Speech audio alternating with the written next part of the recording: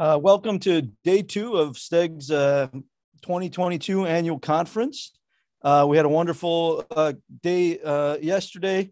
We have another great uh, schedule programmed for today. Um, I want to welcome you all. Um, we have a, a fantastic keynote speaker to start the day off with, um, Laura Alfaro from the Harvard Business School. She's a Warren Alpert Professor of Business Administration there. Uh, she's uh, tremendously accomplished in the field, um, and she is uh, um, written on uh, multinational work, uh, written on many things. Um, research associate at the NBER, International Finance and Macro Group, and International Trade and Investment Groups at here uh, here at CEPR. She's also a research associate. Um, she's been involved in policy as the Minister of National Planning and Economic Policy in Costa Rica. Uh, she's actually we're very grateful to have her today because immediately after this keynote, she has to testify uh, in front of Congress, the United States Congress. So obviously, very important and accomplished uh, academic. Um, for the talk and for the day in general, let me just quickly go over House rules. Uh, everybody's a participant is set up as a participant, uh, but you've been we've been doing Zoom for a while, so you know please mute uh, in general. And um, Laura is uh, going to uh, talk for uh, 45 minutes. Um, she's invited clarifying questions if they need to be asked. Um, and then we'll have 15 minutes for more general questions.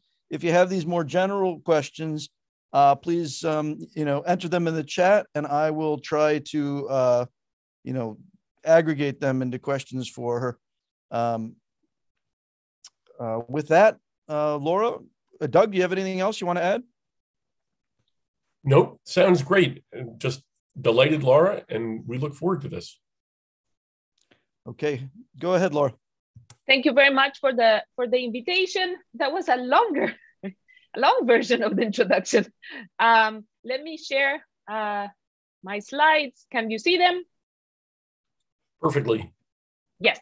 So uh, this is co-author work with Maggie Chen and David Chor. Let me give you a little bit of a motivation, although perhaps, again, especially there, this is all well known. As you know, there has been this um, growing anti-globalization sentiment, uh, fueled by a series of events, if you want, uh, Brexit, uh, Trump, but again, it's, it's being a little bit more generalized than just the US and, and the UK. On top of that, we were shocked uh, by the pandemic, COVID, an unprecedented global economic shock in a world where already governments and firms were reevaluating their global value chain strategies, the shock reinforced uh, these thoughts. Many governments have taken unilateral uh, actions to try to bring back uh, production, uh, onshoring, nearshoring. And in a way, um, it is kind of interesting that this it's happening recently because a lot of the underlying trends um, precede this decade. We can go back to 2000s on, or even the 80s, and I usually tell this. Um, if, if anyone remembers the songs of uh, Bruce Springsteen or, or Bon Jovi living on a play, player, they're all about declining manufacturing, the declining uh, wages, for low skilled workers, the increasing income inequality. And again, all of these trends do precede uh, this decade, but it's lately that political actors have been extremely successful in giving voice to these uh, concerns. And again, there, there's the rise of all these political platforms based, based on uh, blaming uh, globalization, imports, migration. As I mentioned, the global uh, health shock perhaps uh, fed on these preceding trends. And on top of that, uh, most of the information that is being conveyed is quick, fast, Twitter. What we argue is not always evidence research based.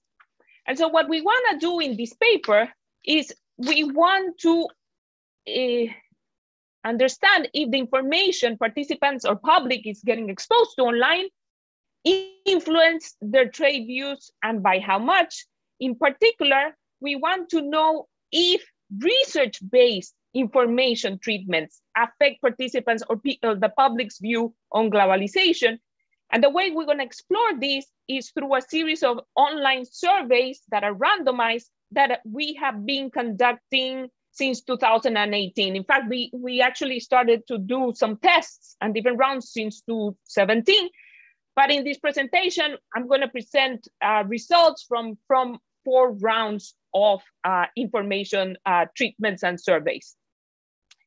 So the surveys have what we call a pure control, where we provide no information. Then we give research-based treatments uh, on the relationship between openness and US labor market. Again, as I said, drawn on uh, uh, evidence, summarized but what we call a narrative that says trade hurts jobs, another one that is trade helps jobs, and another one that is trade helps prices. After we expose the participants to the different information treatments, we ask them their views on um, different economic policies. Since we've been conducting this since uh, 2018, we, oops, we, our time frame allows to compare pre-COVID and post-COVID, uh, and also we can control for the Black Lives uh, movement in the US. So to give you a little bit more information on the treatment, that trade hurts job treatment is based on the narrative and the evidence from Autor, Dorn, and Hanson. So we expose participants to the information that import competition from China weaken manufacturing employment and low skill wages. We also expose, again, randomize a set of participants to trade helps jobs based on Lorenzo Caliendo and co-authors evidence. Uh, service jobs have outstripped the job losses in manufacturing cheaper inputs from abroad have made the US manufacturing firm most, uh, more cost competitive. We also expose participants to help price, help, trade helps prices. In particular, we showed them evidence that imports from China lower price of goods. In particular, we showed them evidence of nominal uh, reductions in, in prices. And we have different variations of trade helps prices, I'll, as I'll explain uh, later in more detail.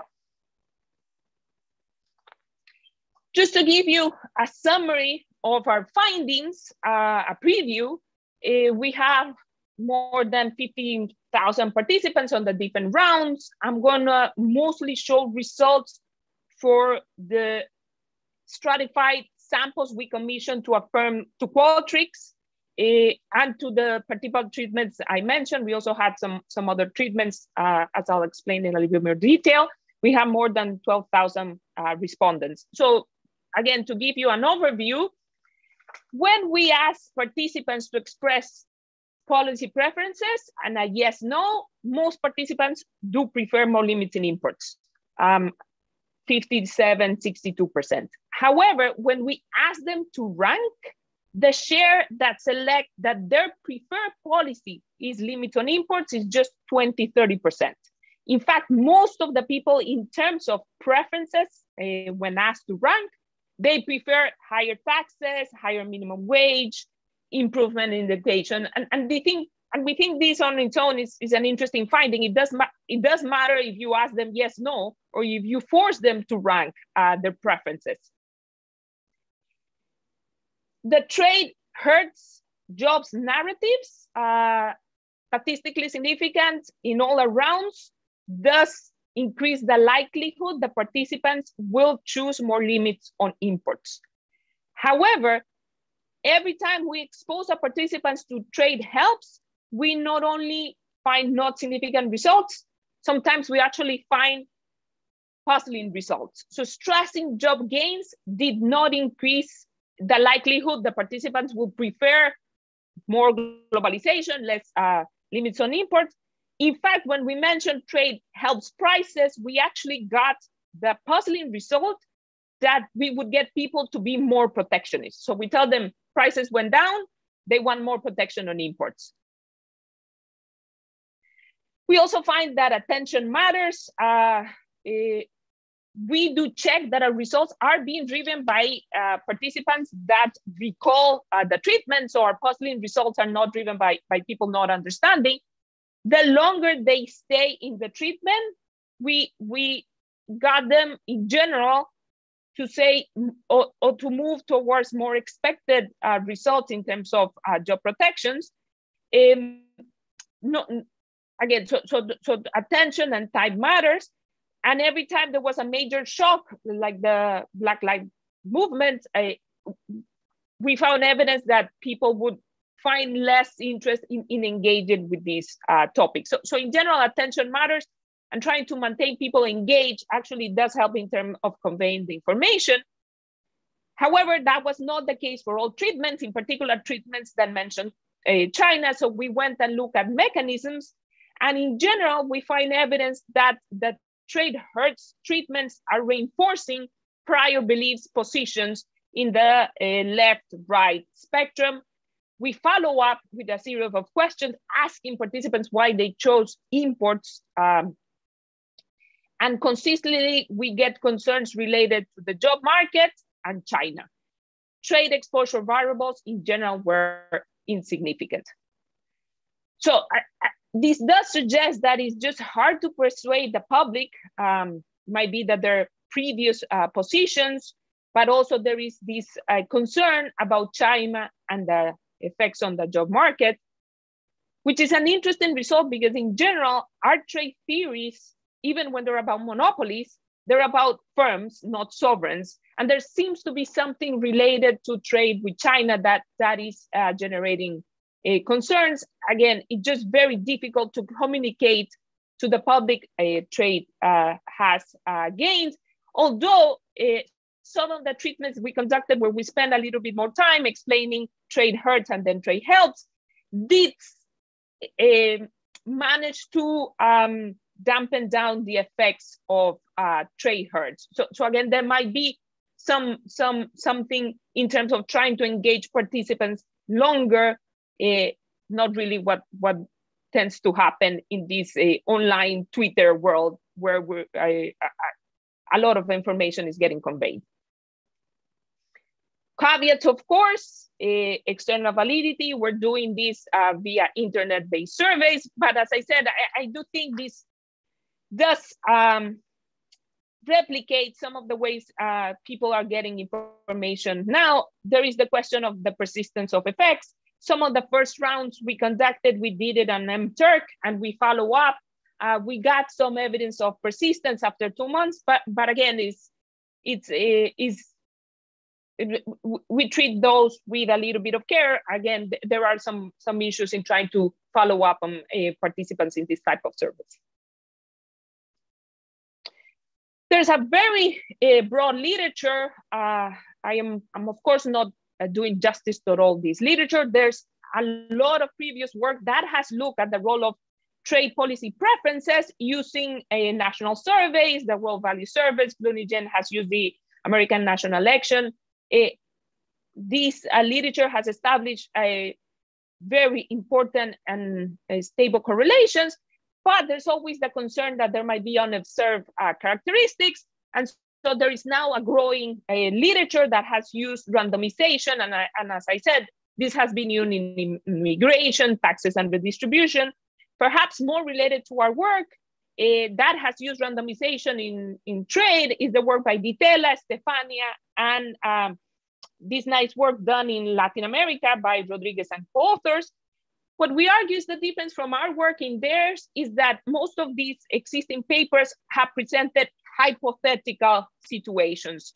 Uh, so for example, Di Tella and Rodrik tell them uh, to summarize and, and, perhaps simplify, the manager is to blame for, for, for the uh, bad outcomes of the firm. We, we are not conveying a hypothetical, we are conveying research-based uh, information to the participants and also brief. Our, our treatments are designed to be given in, in five minutes. So let me go now into a little bit more details of the survey, uh, some of our finding and concluding remarks. So as I mentioned, our objective is to provide a short, uh, user-friendly survey. We mounted it on, on Qualtrics. Uh, we don't want participants to spend more than five and top 10 minutes. Uh, and so that was one constraint where when designing uh, the survey. And so that also constrained uh, uh, some of the things uh, we could ask. The first part of the survey asked a lot of uh, background information, gender, age, race, country of birth, state of residence, education, employment status, and household income. In a second part, we asked participants to uh, share beliefs and positions, where they place themselves liberal, conservative in terms of economic policy, but we also asked them uh, who the candidate they supported in the last two elections. By now, we, we have gone through two rounds of national elections. Then we asked them their views on income inequality, if they think it's a problem, how much they can trust the government, the satisfaction with the US job market. Um, we also asked them uh, how they, what they thought was the impact of NAFTA on, on their family. And we use this as a benchmark as well, whether people in general against trade or if there's something more in particular. We also ask willingness to pay for a brand, and we also have questions, proxies for loss aversion, uh, differences between discounts and fees, and how much would they would be willing uh, to sell or buy uh, a cell phone. We also ask information, the news source, how often do they follow the news, the main sources of uh, TV, newspaper, internet, and so on. We then expose participants to the information treatments. As I said, we have that trade hurts jobs, trade helps jobs. Then there are some treatment where we expose them to both. First, the hurts jobs, helps jobs, and then we switch. Then we ask them trade help prices, here we included a couple of variations. Uh, one in particular, uh, so we were we were worried that people may take lower prices as low quality. So we changed some of the wording and we also excluded China. We also had a treatment that mentioned tariffs hurt prices. As I said, these are evidence-based uh, narratives. And so let me show you in more detail. So that trade hurts jobs is based on Autor, Dorn, and Hanson. A, line of research has shown the US substantially increases in imports from China after China joined the WTO. This has been a major force in the reduction of employment in manufacturing sector and weak uh, wage growth. And so the treatments, we presented text and we also present some graphics, figures some people are better reading and understanding from text. Some people are better understanding from uh, graphs. So, so we combine uh, both methods. Then we have trade helps jobs. Here, we told them again the same. A, a line of research has shown that there has an increase in imports from China.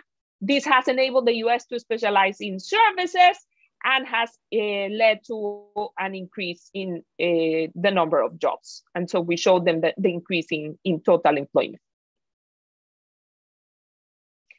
Trade help prices, again, the same introduction. And then we tell them that this has increased the uh, cheaper goods. And in particular, we mentioned computers, electro electrical products, and furniture and also apparel. And we showed them uh, a figure that conveys uh, prices. And again, we tried to pick uh, items where there was a nominal decrease in prices, not, not to get into real and nominal. As I mentioned, we were a little bit worried that perhaps people would take a cheaper as low quality. So we changed a little bit uh, the, the, the wording and we said increase the availability of goods. And in one, we got rid of the word China if Chinese goods may have been associated with, with a cheaper a quality, a lower quality. We also expose participants explicitly to a narrative trade hurts prices. And here we draw from the recent evidence that uh, the, the recent round of tariffs in the US increase uh, prices. And so we we showed them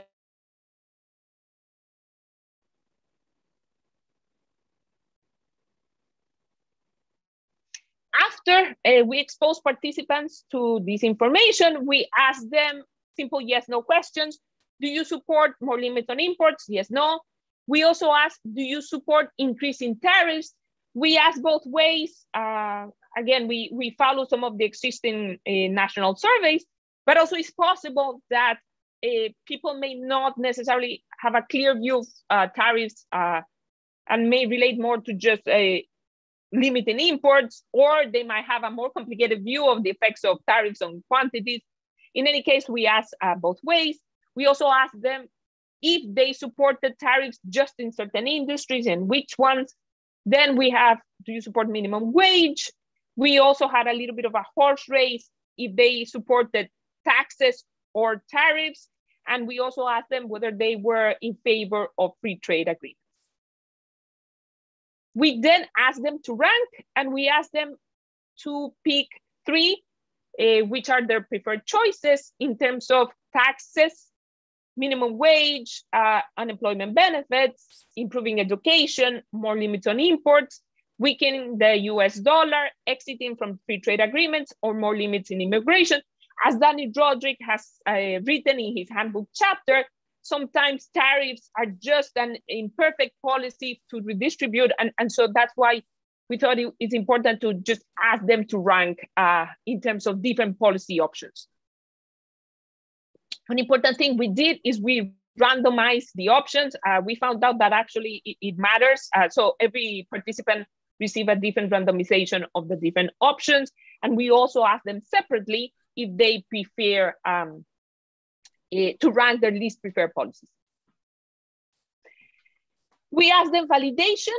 Uh, we explicitly ask them if they if the treatments have affected their views. We also ask a broad validation whether the treatment was about prices or jobs. Again, um, just to get a, a sense of, of uh, whether they at least broadly understood the treatment. Then we explicitly asked them to explain why they chose limits on imports if that was the case. And we gave them for some options. I'm concerned about US imports from China. I'm concerned about national security. I am concerned that they might be lower quality. Even if imports help jobs, there are other concerns. I'm not persuaded by uh, the treatments or imports compete for jobs. We also allowed an option for them just to write and tell us uh, their views. And uh, as I said, is, uh, in the post-COVID rounds, we asked them some views on how COVID has affected their, views on trade, and if they think uh, COVID uh, justifies certain restrictions, uh, movement of people, medical goods, goods in general, or bringing manufacturing back. And we also asked them how COVID had affected their views on China. So we implemented, as I said, uh, different rounds. Uh, we started with some tests back in 2017. We also did the first rounds, uh, very early rounds in MTurk in terms uh, of the stratified samples that we commissioned to Qualtrics. Those are stratified by gender, age, race, and education. Uh, we had one round in August 2018, a round in April to 19, June 20, June 21. In these later rounds, we asked the COVID questions and we also asked the evidence on tariffs. In earlier rounds, in these first ones, we also had a treatment that told them it's not trade, if you want, it's technology based on uh, the work by Daron Acemoglu and co-authors. We didn't get a lot of traction, so, so we excluded uh, that treatment in later rounds again to accommodate some of the changes we did in, in, the, in the prices uh, treatment. And as I said, this very early round uh, on Amazon, we also had a follow-up. So this is just to um, give you a sense of the samples. As I said, in general, they're balanced in terms and representative of the US in terms of gender, uh, race, um, uh, income. We also got a, a, representation in terms of the sector. Uh, keep in mind that in the US, manufacturing is less than 10%. So broadly, uh, it does mimic the US uh, characteristics. And, and then we had different uh, results in terms of their, their beliefs and, and, and preferences.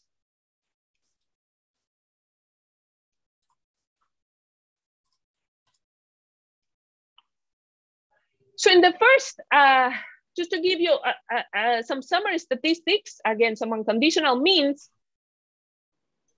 when we ask participants to express their views on whether they want to limit imports, as I said, 57% of, of the sample was in favor of limiting imports. It went up a little bit in the COVID, uh, post-COVID rounds. It went down a, a, little bit. And, and I think people have, have gotten a sense of this. There was a view that COVID was this dramatic transformation, but, but it seems to have been settled. it was still a little bit higher than the, the first one. What is interesting is when we ask folks, should they increase tariffs? Yes, no, it's lower. Um, again, in might be that people just don't like the word tariffs. Maybe they associate it with a tax and they don't like that. Or they have a very complicated and, um, and complex view of tariffs, but, but there is a difference in those, in those two. Uh, and again, when compared with the preference for the other policies, they actually do prefer other policies. And this is what we get when we ask participants to rank. When you ask them, give me your preferred policies, only 23% to 28% chose limits on imports as their preferred policy. Most of the participants uh, chose taxation, education, minimum wage. I have to say that the least, least favorite is weakening the exchange rate. So if anyone is in politics, that doesn't really give you a lot of votes. Talking about depreciating the exchange rate doesn't really seem to get a lot of traction. Uh, so we didn't follow up uh, a lot on, on that policy. Um, so again, it, it does suggest that these, when you force them to rank, you, you do get a little bit of differences. So then we look at the results, uh, the way uh, we did this. So we have, yes?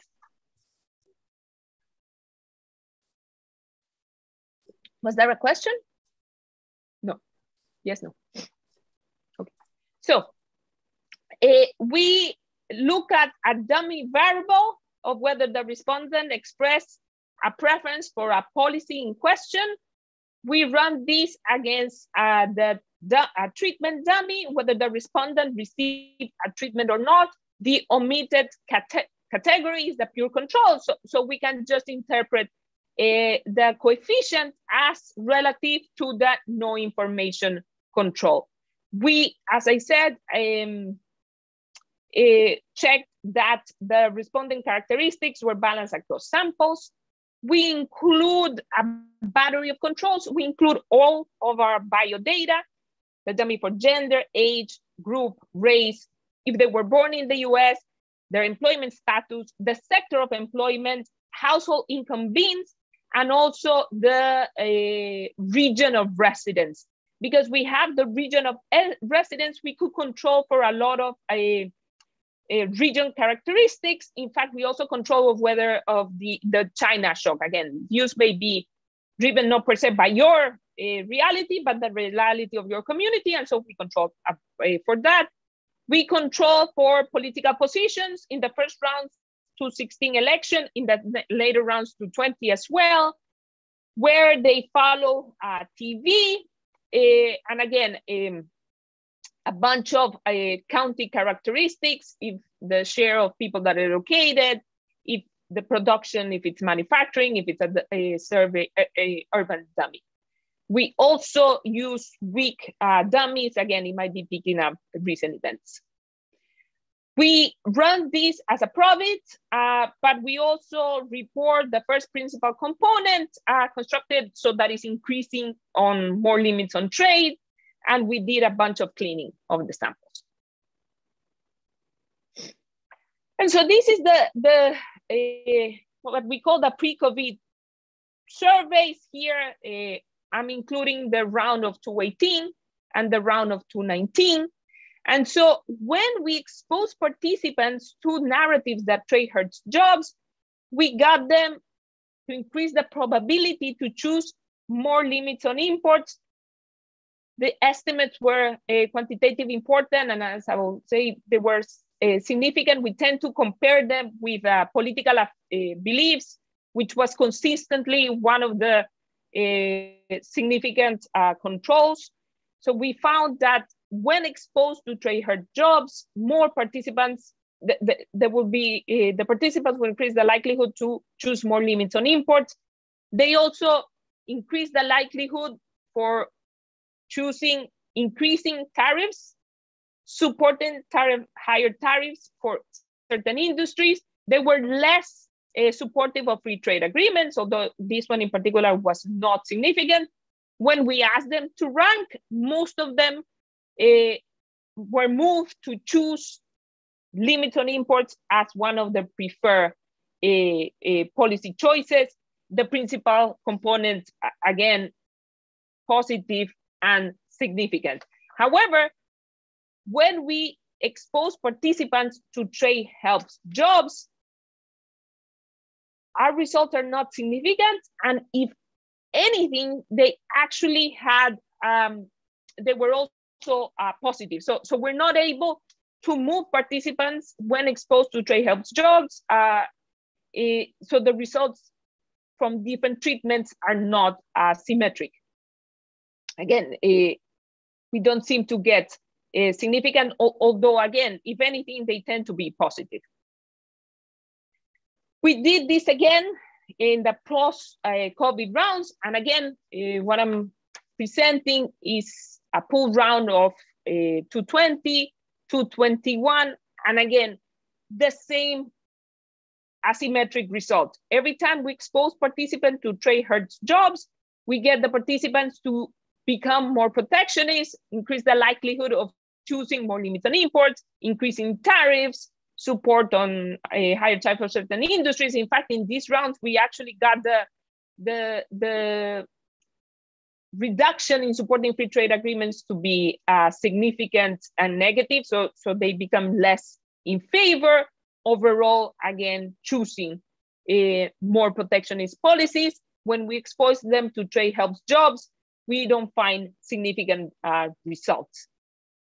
As I said, in terms of the quantitative effect, it is similar to the one third of the magnitude of being a Republican candidate. As, as, as, as you know, previous surveys used to find that Republicans tended to be more pro-trade. This change and was picked up of uh, previous surveys. So again, this is not something that uh, we're discovering it has been documented. And, and again, our treatment is a one third of the effect of being a Republican. In terms of other variables that matter, as I told you, the, the, candidate, uh, the, the supporting presidential election, older folks tend to be more uh, protectionist. Uh, the literature tends to find patterns on race and gender. We don't find significant results there. In college education, we tend to find it to be significant for prices, but not for jobs. If the participants were watching Fox News, they were more against trade. If they were following BBC and CNN, more in favor of trade. And as I mentioned, randomization order uh, matters. And so we also expose participants, um, as I said, to this treatment. Trade has a lower prices and we expose. And what is interesting is that we actually got very puzzling results when we told participants trade lower prices. We actually got participants to more likely choose limits on imports. Um, and so, and again, it was consistent of, over different questions, principal component, positive and significant. So we were puzzled by these results. So we follow up, as I said, maybe we thought participants were taking this to be a quality issue. So we, in the later rounds into 2021, exposed uh, different treatments in terms of prices, uh, what we had before, uh, that mentioned China, a treatment that changed cheaper for just more availability. And we also exposed them to explicitly trade hurts prices and we continue to get the similar puzzling result. Any mention of prices will turn, uh, increase the likelihood that participants would become more against trade. In fact, a, a result that we found interesting is when we mentioned China, is when we got uh, the, the, quantitatively the largest uh, coefficients. And so we, we decided to follow up a little bit more on that.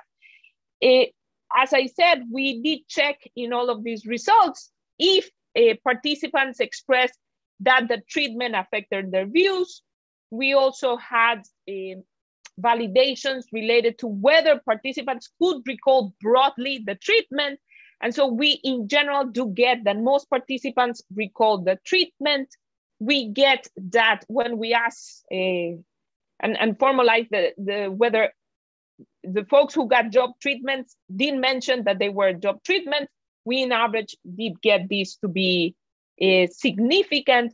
We also find that participants who take longer to answer uh, the treatments it managed to get um, was related to getting the, the type of treatment uh, that was given correct, but also they they would move to if you want the expected uh, results that we were thought we would get in most of the cases except uh, cases where we mentioned china and again we did follow up on that so again our puzzling results don't seem to be driven by people just not recalling uh, the treatments. And so in the last section, um, we try to understand some of the different mechanisms. Why was trade hurt uh, carrying so much traction in our surveys? And so we uh, ran the same regressions and we interacted with different uh, respondent characteristics the way we thought about uh, these characteristics, Baldwin has a nice uh, Journal of Economic Perspectives where he says, well, we can think of uh, trade policy being driven by economic, economic self-interest, all the variables that affect your income. So we have a share of variables uh, that are related to this personal uh, exposure, industry of employment, location, unemployment. We also have uh, education, again, uh, some of these proxies may be picking different characteristics, uh, education in particular, but, but we put them in, under the economic self-interest type of um, explanations. There might be also social uh, concerns uh, where the government is trying to promote policies based on distribution. Uh, there might be some broader views on whether you can trust government. And so we have proxies for social concerns.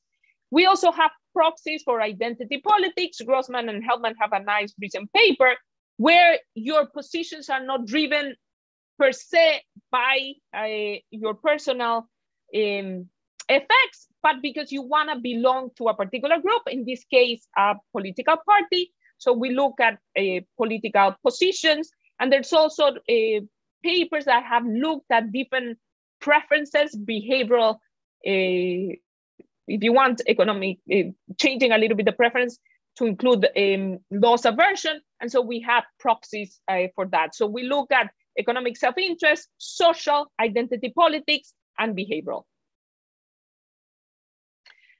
And so the traditional trade literature will tell us, well, depending on your exposure, uh, your capital, labor, depending on the exposure of your country uh, to the rest of the world, it might differentially affect your wage.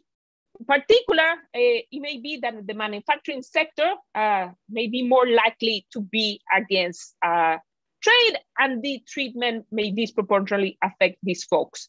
But when we go and control for manufacturing, whether the person is employed in manufacturing, we don't get significant results uh, from the interaction. So, so it's not that per se this is being driven by um, uh, folks in the manufacturing sector. We also checked, and it's not particularly driven by uh, location, folks in uh, communities that were negatively affected by China imports. Uh, we use the ADH uh, variables.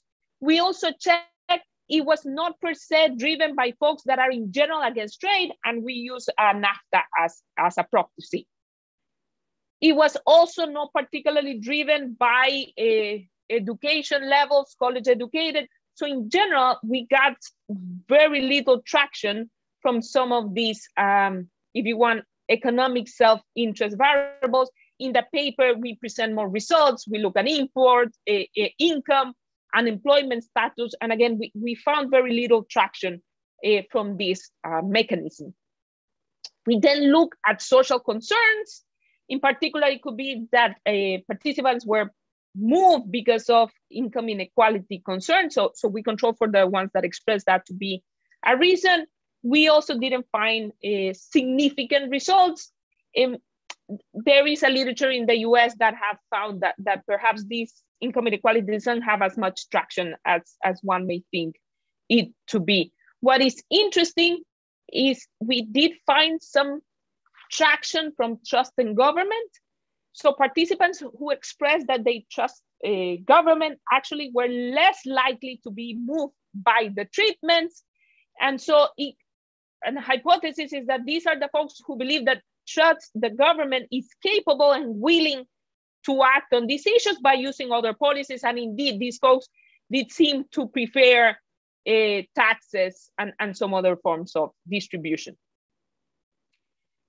Identity politics, as I mentioned, this was in both in levels and interaction, one of the most significant uh, variables in terms of being able to uh, explain some of that result. So it does seem to be reinforcing some political priors that in the US have changed, with now the Republican Party being more against trade than the Democrat Party. In the survey, we had different proxies uh, for loss aversion, and we checked, uh, we didn't seem to get a lot of traction in terms of jobs, but we did get some traction in explaining the puzzling results of prices. So there seems to be something related to loss aversion in prices that uh, seem uh, to explain some of our puzzling uh, results. So as I said, we in the last part of the paper, we the survey, we explicitly asked participants to explain to us why they chose mostly on imports. And we consistently uh, got results that were suggestive that it is something about the job market, it is something about China. So we went and uh, in particular look at, at, at, at the at, at these uh, reasons, when we explain uh, the different reasons why, as I mentioned, we ask them uh, to choose persuaded, lower quality, compete with jobs, national security on China. So something that was worrying, it, worrying us was that people may be taking low prices at low quality and we don't have evidence uh, related to that. So, so that concern was not there. When exposed to the price treatments, the positive part treatments, and still choosing uh, to limit imports, what we got was that participants were not persuaded by the treatment. Uh, so there's something about prices that, that was not uh, convincing them. When we exposed them uh, with treatments that were saying that trade was helping jobs, they also would tell us that, nope, there is something about imports that compete with jobs. I am very worried about national security. I am concerned about China. It was interesting that every time we got the China, it became something about jobs, it became something about uh, national security, or when we talk about jobs, again, a lot mentioning of China. So it seems that these are some concerns that are salient in the participants. So we went and looked in more in detail about uh, these concerns about China.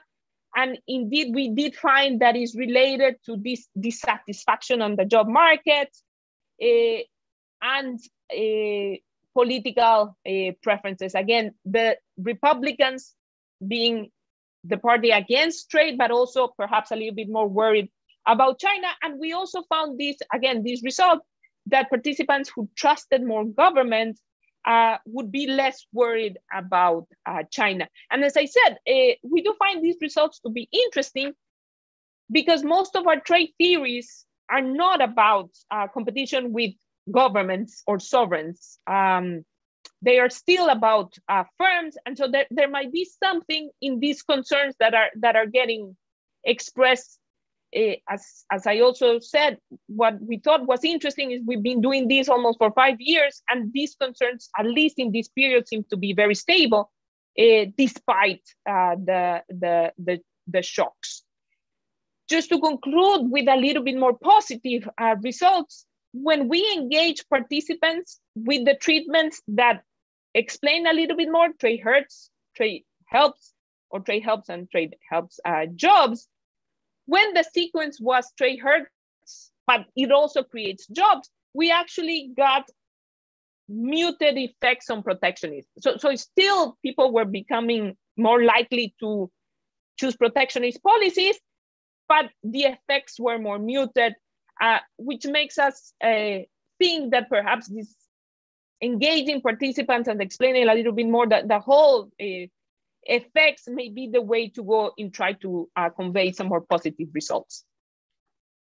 And so to conclude, um, the trade hurts narratives uh, have traction, they shift policy preferences towards being protectionist.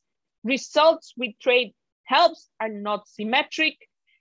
Because of randomization, we can interpret this uh, as uh, uh, with causality.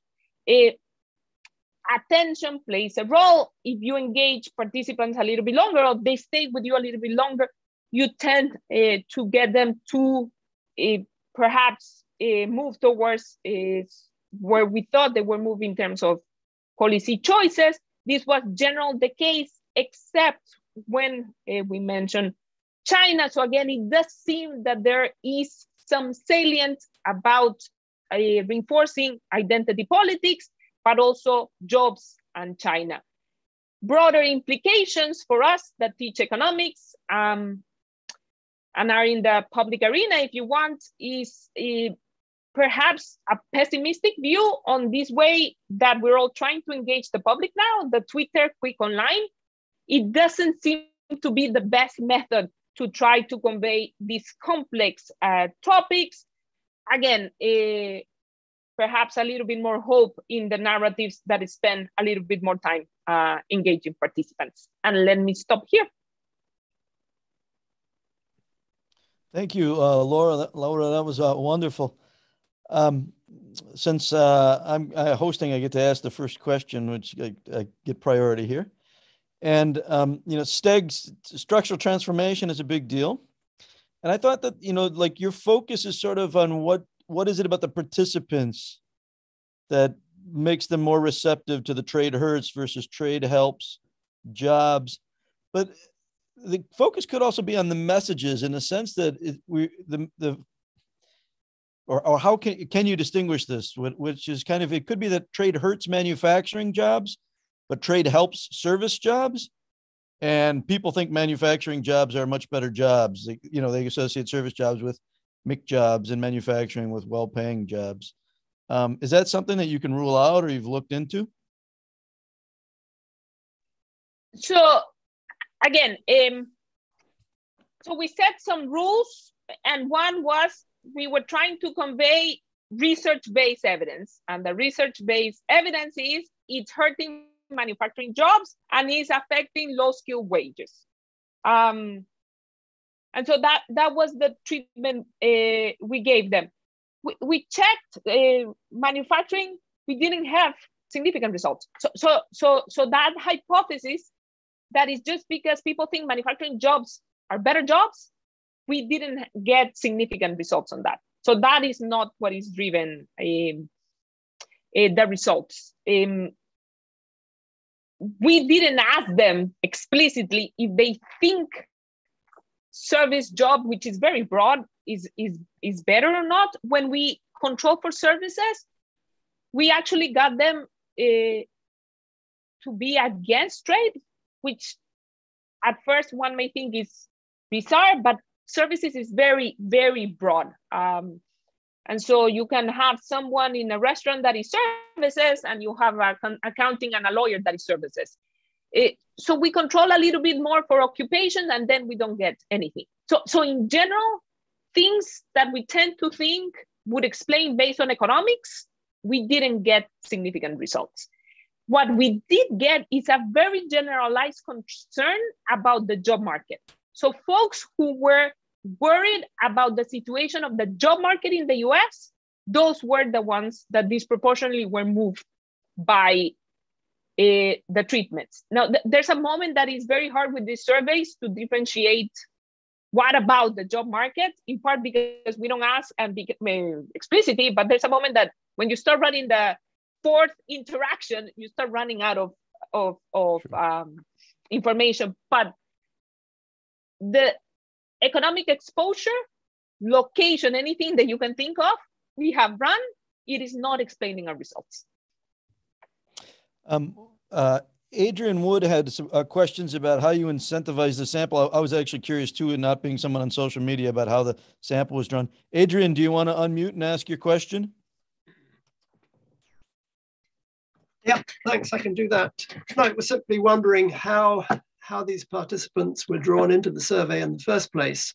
Um, were they offered any kind of financial incentive, or did they just kind of volunteer? Um, and does the mode of selection and recruitment possibly affect the nature of the responses? So they, they're getting paid. Uh, it's, it's not a lot, but also they're not spending a, a lot of time, but they're getting paid uh, 250. We, we benchmark, that is usually what people were doing.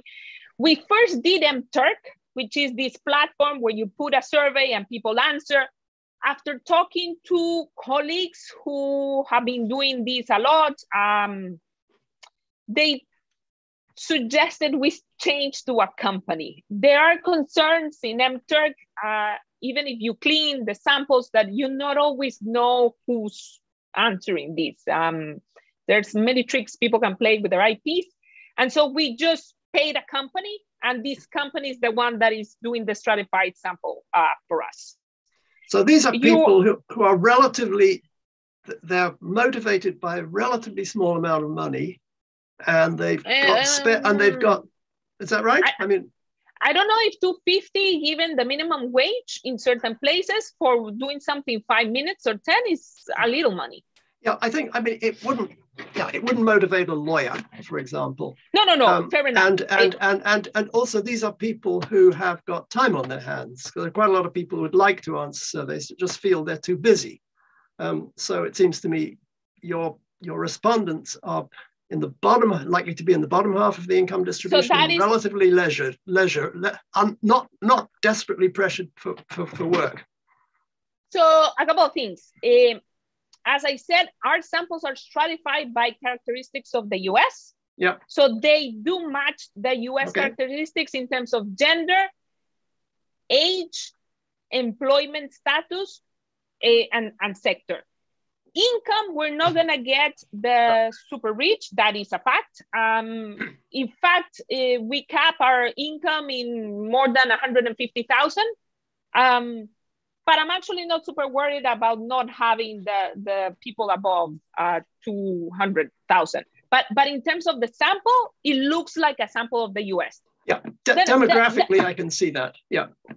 Now, as I said, there is the validation of whether um, this has external validity once you engage uh, folks uh, like yeah. this. And, yeah. and that I agree it's a concern. But um, I actually do think that you are getting to a significant uh, proportion of the population yep. that that is uh, uh, how they're engaging. But again, that, that I agree with the, the overall caveat. Having said that, it's just very hard to get everyone. The, if you do a person um, survey that also has selection bias. Um, the, the people who will talk to you um, or answer a phone or like all, all, of these methods yep. have a bias yep. and, and, and it is a, it may very well be that the listening side of social media disproportionately engages people with uh, a lot of time on their hands anyway. Yeah, um, so just, just a last comment. So we did this during COVID. So I'm not as worried about some so, so we're actually asking people at the time where everyone is at home So so so that has other set of biases, but but there was a moment that everyone was locked in and they could do this because they had more time in their hands. And as I said, it increased a little bit, but not as much. And so the fact that we have been doing this now for five years and it's relatively stable, for us suggests that there is something there despite the concerns. I'm, I'm not at all surprised by your results. I found your results uh, entirely convincing. I mean, I suppose my other question is this, the problem you face is that it's like jury selection in a trial, which has been very widely publicized in the newspapers. In a sense, it's very unlikely you could find anybody in the US who hadn't heard something about concerns about trade and the effects of trade. No, no, I agree, that's fine, but we're randomizing. So that's the other thing. So, so we're providing treatments in a randomized way. And that was a concern we had, it's just salient and indeed, we find that is salient, but in particular for Republicans, yep. and particular uh, for people to express certain views. What we also thought was interesting is that NAFTA, which is perhaps the more important trade agreement of the US and in, in quantitative effects, was not something that people are per se against. In fact, most of the population tend to say it was positive to the US and we use that a little bit well what happens is people are just in general against trade so we checked what happens with the people who who said that and it's not driven by some prior that trade is hurtful. It is Thanks. something about mentioning china yeah. Yeah. and the current round. Yeah. Terrific bit of analysis. Thank you Annie uh, Tubaji had some questions about uh, education that were in the chat. You talked a bit about education. I'm not sure if they got addressed, but Annie, if you wanted to follow up, you can unmute. Hi. Well, thanks. It was very interesting, and uh, I always find very precious information which is based on uh, primary data collection.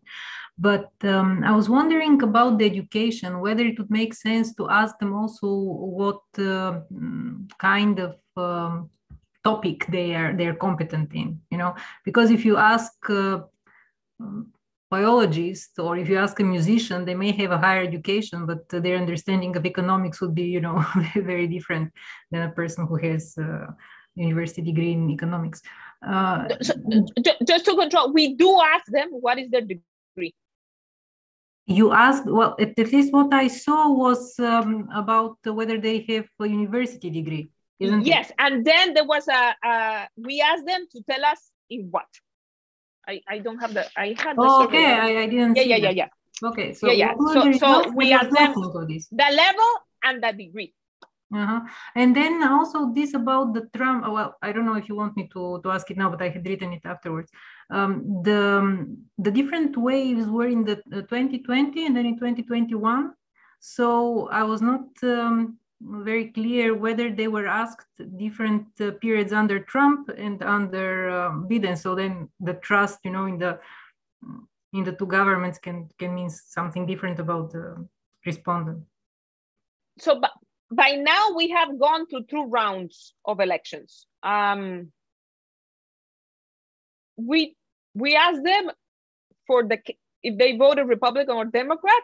We we don't ask them to we don't ask them do you vote for Trump or Biden because we were told this. Yeah, I just think for, that maybe you can control simply of the type of period that they're in. Somehow. No, no, no.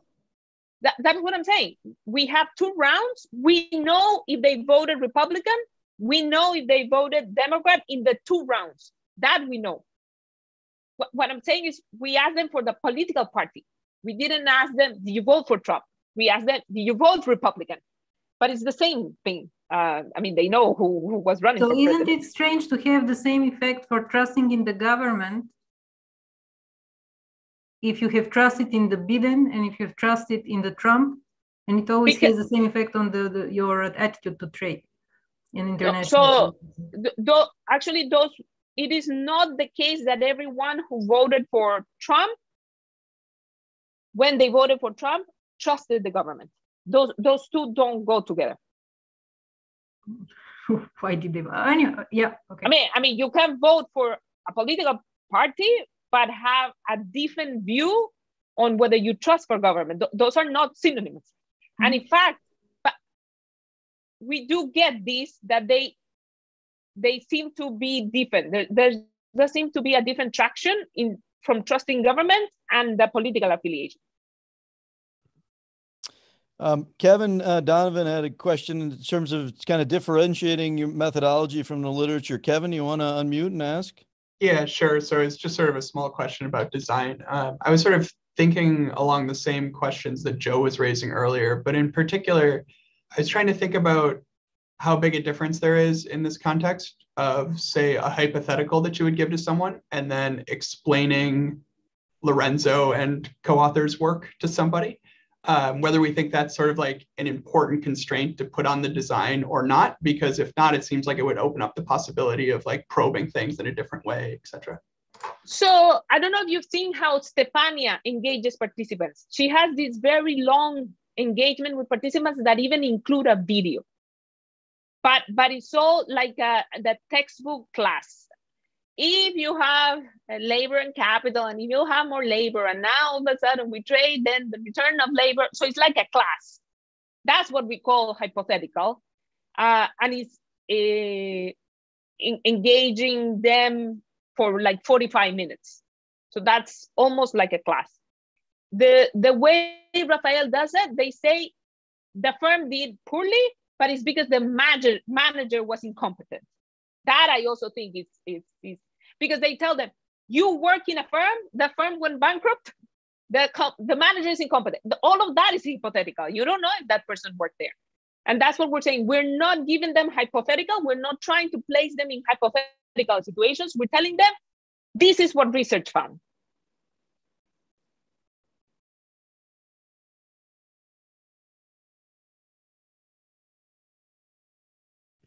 I'm trying to look through some of the uh, uh, questions. Um, um, it looks like many of them are comments rather than questions. Uh, Alexandros, did you uh, want to uh, uh, ask your question briefly? Is it's about By the way, versus closed survey questions? There is a comment that it feels like people are associating prices with something about jobs and that yeah, is what we get when we when we follow up. There seems to be something about even when i tell you your computer now is cheaper and your that people say associate that with someone lost a job. Yeah. Nezi had asked why not ask if that if if you they know someone that lost their job due to trade as well. We ask them indirectly because we ask them their views about how the economy is, is doing, their views about trade, about NAFTA. So they're indirect. And then we control for the location. So we know if they were born or they currently live in places that are disproportionately uh, hit by, by trade. So, so, so all of those things uh, we control. And again, this is randomized. So well, let me just um, thank you, and we should wrap up now. Uh, give you time to get to uh, Congress, and uh, hopefully their their questions are as friendly as ours.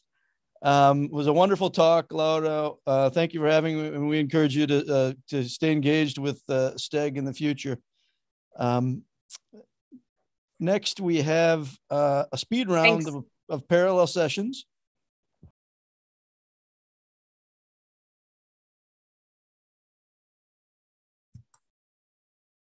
All right, it's something like a miracle to be running a conference on time and still to be in the second day and in the second session and on time. So I won't spend a lot of um, do a lot of introduction here. I'll just say our next presentation is from Yogita Shamdasani. And um, Yogita doesn't have co-authors present in the chat. So please do, um, if you have questions that are clarifying questions, put them in the chat and um, actually any kinds of questions. And I will moderate. If I think they're clarifying questions, I'll I'll stop Yogita and try to um, try to get her to answer them in mid-course. Otherwise, I will digest them and moderate them for the end of her presentation. Uh, great topic. Looking forward to hearing this. Yogita, all yours. Great, thank you so much. Thank you for having me today. This is a, real pleasure to be telling you about my work with Maggie Liu and Vis Taraz, who are both at Smith College um, and really are the climate change experts on this paper. Um, so today I'm going to be telling you about climate change and labor reallocation using evidence from six decades of the Indian census. Um, so it's, you know, I don't have to really motivate this to this room. There are many people in this room who are on this slide as well. Um, and so it's been well established that um, economies in developing countries are commonly characterized by large productivity gaps between agricultural and non-agricultural sectors, between rural and urban areas, etc. And there's been a recent active debate on the source of these gaps, and you could think about um, the source of these gaps being labor misallocation or the sorting of workers across space or both. Um, importantly, what this tells us is that reallocation of workers across sectors and space could be beneficial for economic development if it allows for a more efficient allocation of human capital. And at the same time, in order for there to be arbitrage, uh, for that to take place, there must be both an availability of, of higher paying jobs outside of agriculture, as well as a sufficiently low cost of switching between sectors or regions. Okay, and so what we do in this paper is we bring climate change into the picture. And in particular, we explore how climate change interacts with labor reallocation in economies that rely heavily on agriculture. Okay, so why the focus on economies that rely heavily on agriculture? It's been established in the literature that higher temperatures have adverse impacts on agricultural productivity and income. And so we're thinking about developing countries these are precisely the places where there's a high share of workers in agriculture who are most likely to be vulnerable to climate risks that, that we see today and, and are going to be growing in the future. Okay, and as a result, we can imagine that rising temperatures under climate change could impede the pace of labor reallocation across sectors in space. And there could be multiple mechanisms that could be driving uh, this relationship, which I'll get into uh, much more detail in the paper. Okay, so where does this fit into the literature? So we have by now a vast literature that tells us um, about sectoral reallocation as well as rural urban migration in response to short run weather shocks. Okay, so if we have um, a bad rainfall shock, or if we have a good rainfall shock, or we have a good temperature shock, etc. But when we think about medium to long term responses to climate variations, these effects could actually be quite different uh, fundamentally from short term responses. And why is this the case? It's because when we think about these medium to long term responses to climate, we need to be uh, thinking about potential adaptation that takes place or you know in, in the opposite way we could think about intensification of effects that take place relative to the short run responses to weather shocks Okay, and so getting a, getting a sense of what these medium to long term responses to climate variation um, is important because it's going to allow us to better approximate how agents are going to respond to anthropogenic climate change. So to give you a preview of what we do in this paper, so we're going to ask two questions. The first is, do rising temperatures under climate change affect the pace of labor reallocation within local labor markets. Okay, and the spoiler is that it's yes.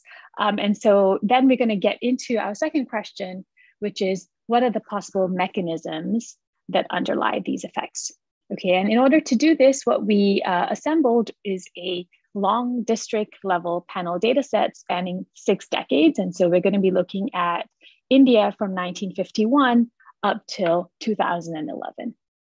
And with this data, we're able to examine responses both um, medium term climate to, to medium term climate variations as well as to longer term climate variations. And I'll, I'll define what I mean by medium and long term in, in more detail. And the way we do this is we have two different empirical models, a panel fixed effects model and a long differences model. So the key takeaways, um, the first main result is that we find that rising temperatures do inhibit structural transformation in Indian districts. And, and what we mean by this is that we see that rising temperatures lead to an increase in the share of workers in agriculture. And correspondingly, we find a decline in the share of workers in non agriculture. And unfortunately, uh, we see that these effects actually seem to be intensifying over a longer time frame. So we're not finding um, adaptation, but instead we're seeing that the effects appear to be getting intensified as we look um, at longer term uh, impacts. Next, moving to trying to understand what are the mechanisms underlying these effects, um, we find evidence that's suggestive of local demand effects playing a role. And so, what do I mean by local demand effects? So, uh, it goes as follows we think about a shock to agricultural productivity, which subsequently leads to a reduction in farm incomes. And this has an impact on the demand for local non agricultural goods and services. So we see a decline in the demand for non agricultural goods and services, and subsequently, we see a decline in the labor demand for non agriculture. So, again, I'll go through this in a lot more detail. We also consider numerous other mechanisms in the paper, and you could be thinking about other mechanisms right now. That's not the one I have up here on the slide. Um, and so, you know, we, we don't find um, strong evidence for several other mechanisms, but it's still pretty much, um, you know, we could imagine that there are multiple mechanisms at play here. Great. So let me now tell you about the context um, and then give you a preview of the data before I get into the empirics and the results.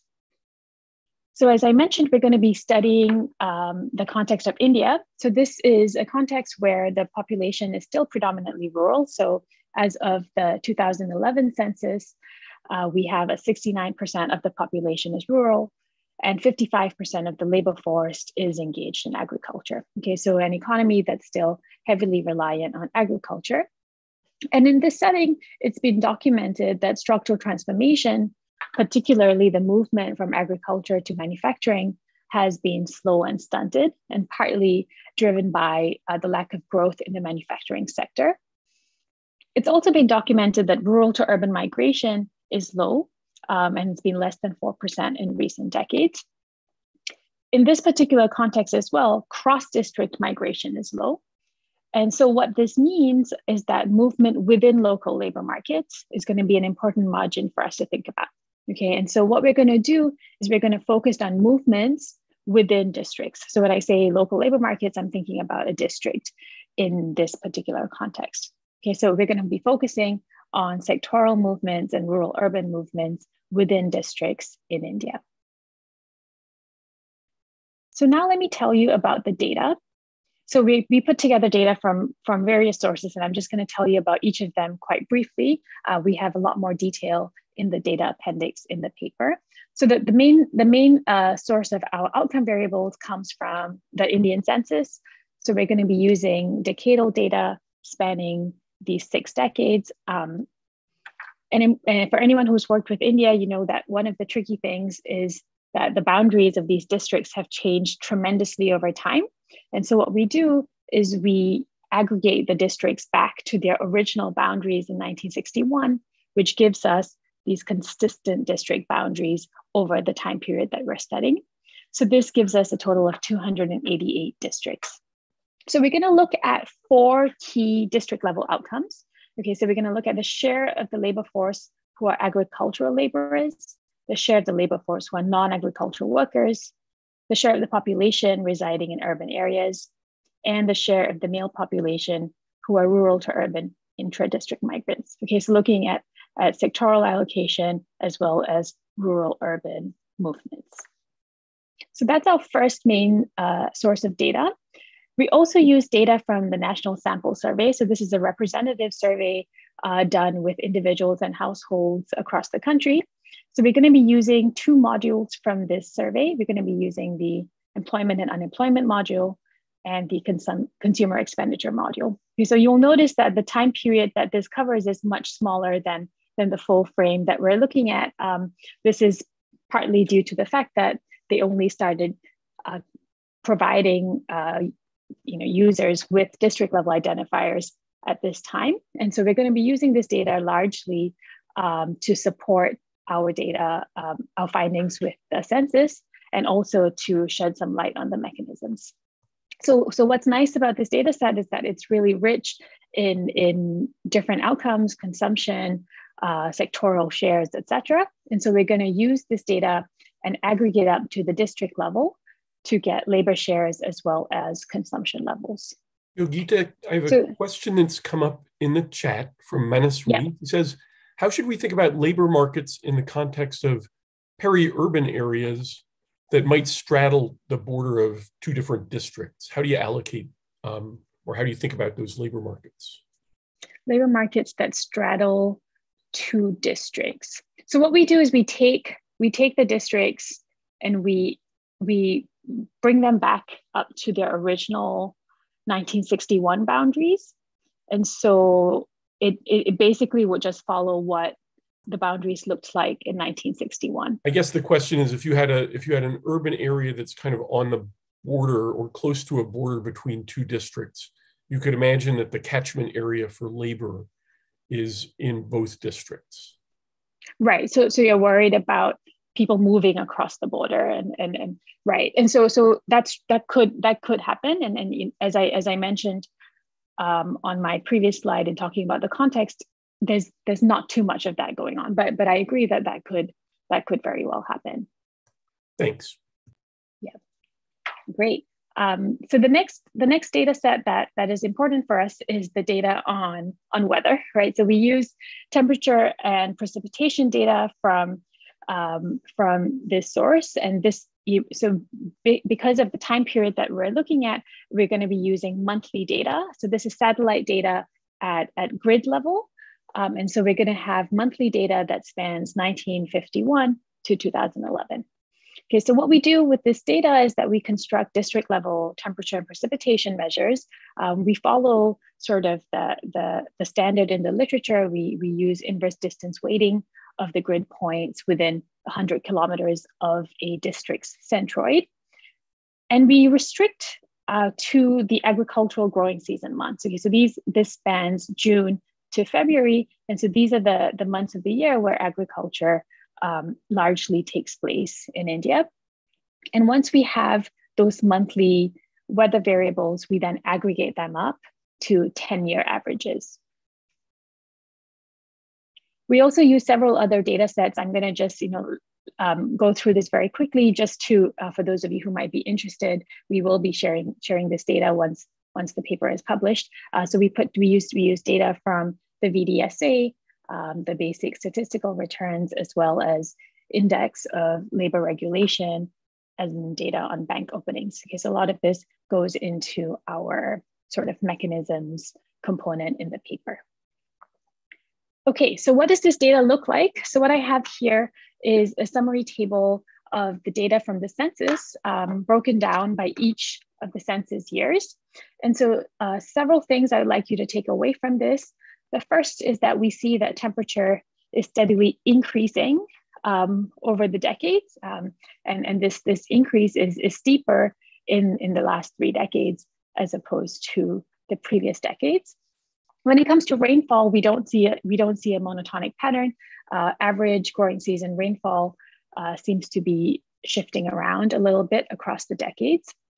We also see an increase in the agricultural labor share and the non-agricultural worker share over time. Okay, so one thing I do want to mention is that these two variables here are not, uh, you know, not complements to each other, and they don't necessarily add up to one. And the reason for that is we don't include cultivators when we are thinking about agricultural workers. Okay, so we, we, we focus on wage workers in agriculture. And so here, when we have agricultural labor, this is excluding individuals who identify as cultivators in the census. Um, and I'm happy to talk more about why, why we chose to do that, um, as well as tell you about robustness if we would put them back in. Um, but just for those of you who are looking at these numbers and, and wondering why they don't add up to one. We also see uh, an increase in, in urbanization over time, which, which is um, well established. Okay, so let me let me show you what these what the data looks like in pictures before I get into some of the regression results. Okay, so what I have here um, is the difference between growing season temperature in 2011 and 1961. So you can think about the two, the start and end points our data. And we've plotted this for all the districts in the country. And so what, what do we see? We see that um, the changes in temperature are pretty heterogeneous. Okay, we do see that, that the, there are larger increases inland as opposed to um, in the coastal regions. Whereas when it comes to rainfall, we sort of see that there, there appears to be greater changes in rainfall along the coast. When we look at some of our outcome variables, so we look at the agricultural labor share here on the left, the non-agricultural worker share on the right, again, we see um, heterogeneity across space.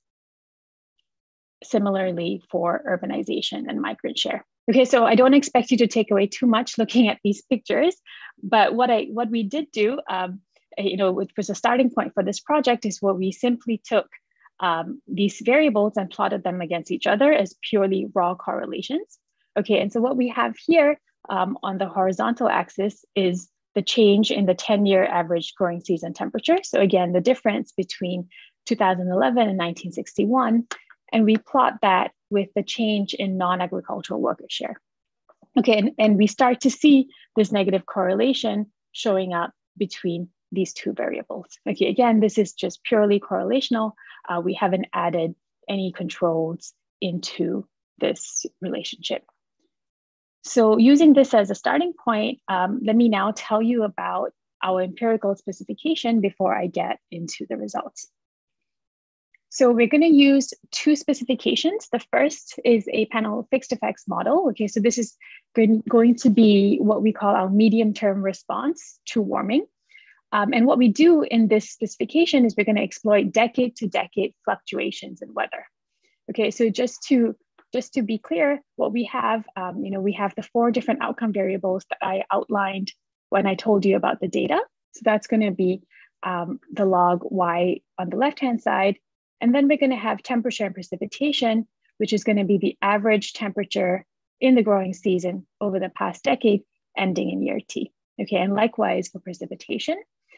And then we have a, a set of fixed effects that, that are important to understand. So we have our district and decade fixed effects, and we also include time varying region or state specific effects. So either uh, time trends or, or region year fixed effects. Okay, so what this does is it's going to account for unobserved factors that may be correlated with climate or local economic patterns over time.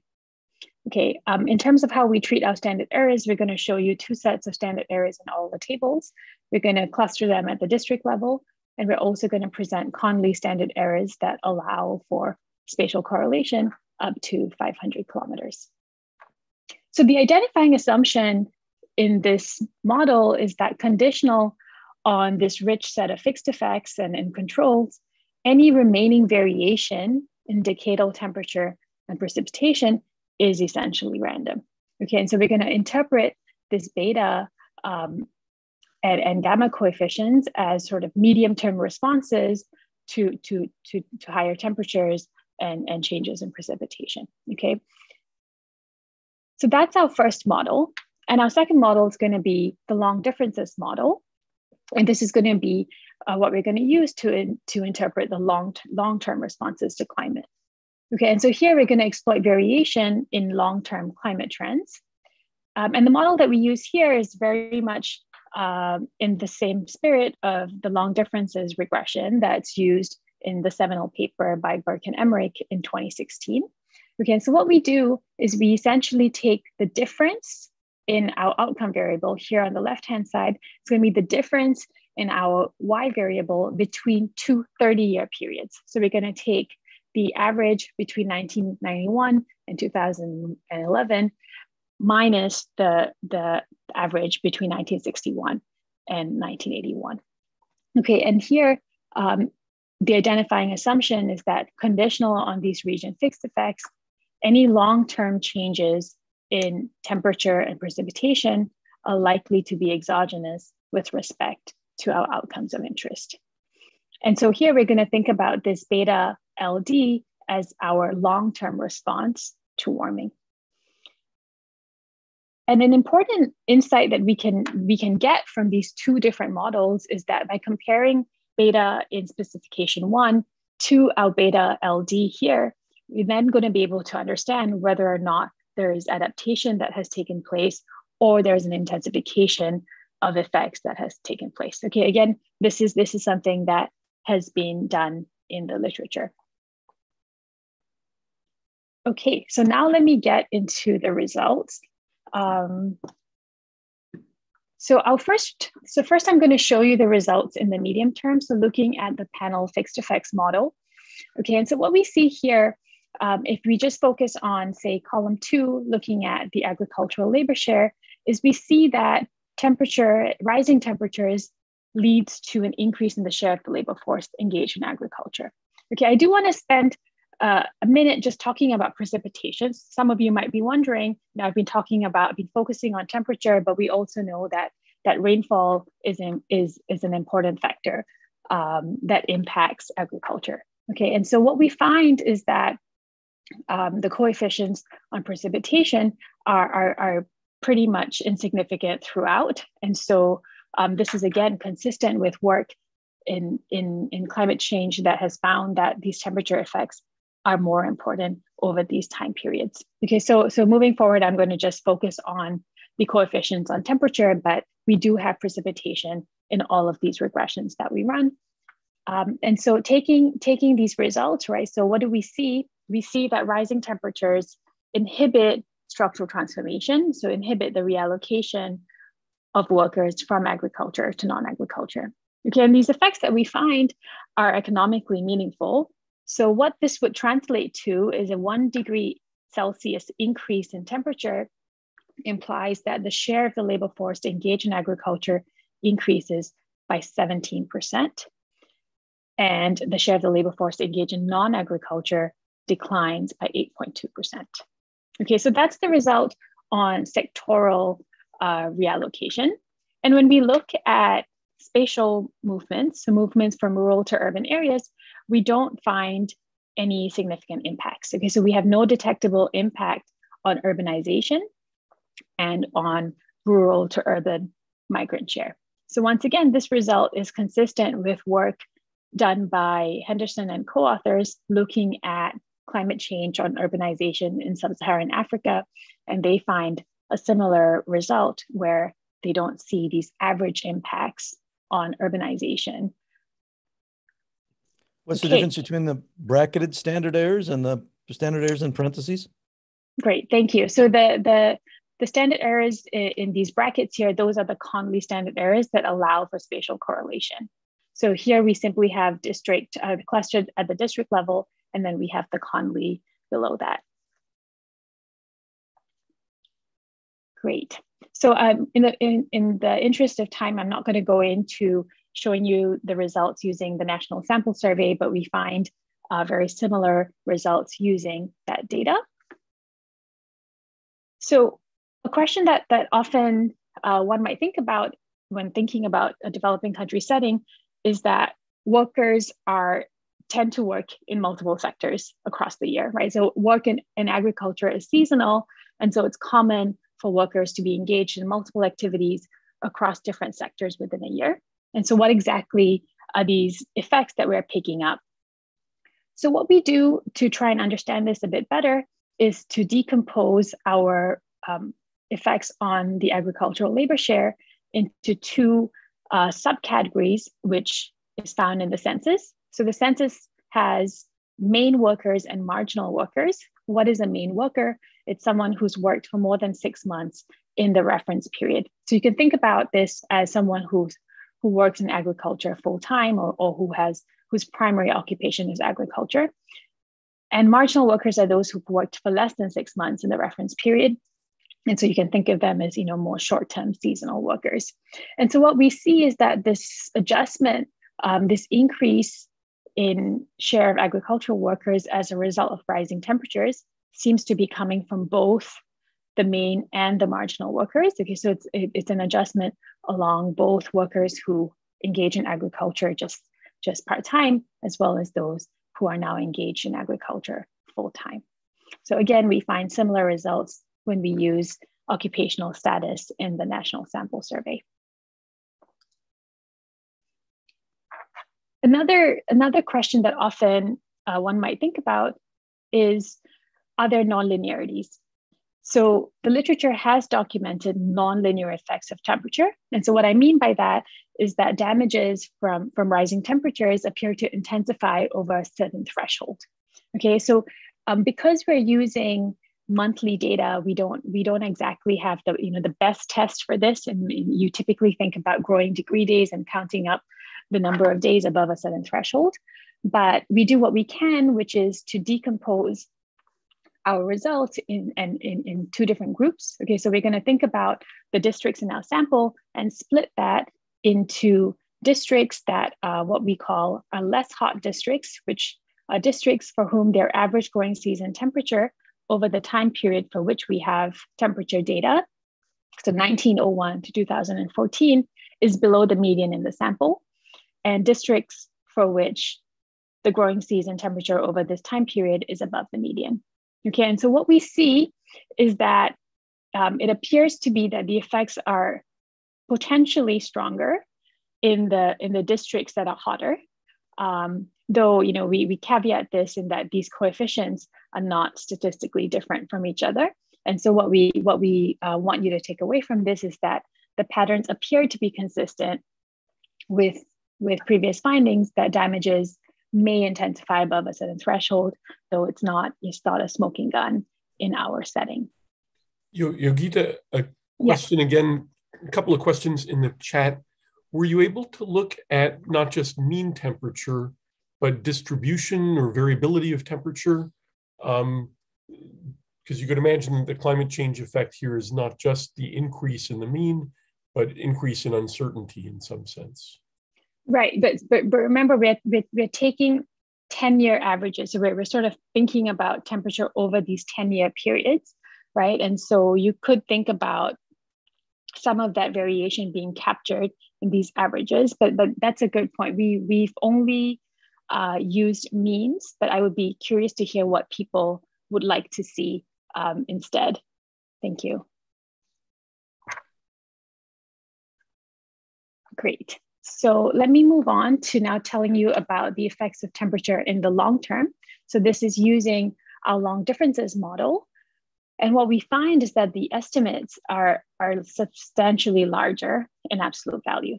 Okay, and so what this tells us is that the adverse effects of rising temperature appear to be intensified. And so sustained warming is making reallocation infeasible for a larger share of households.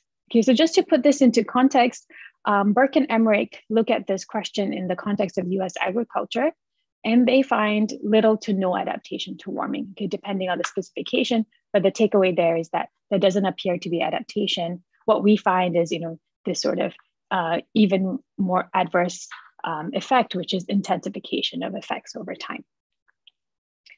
Okay, so now let me get into the mechanisms, which I think um, is quite interesting.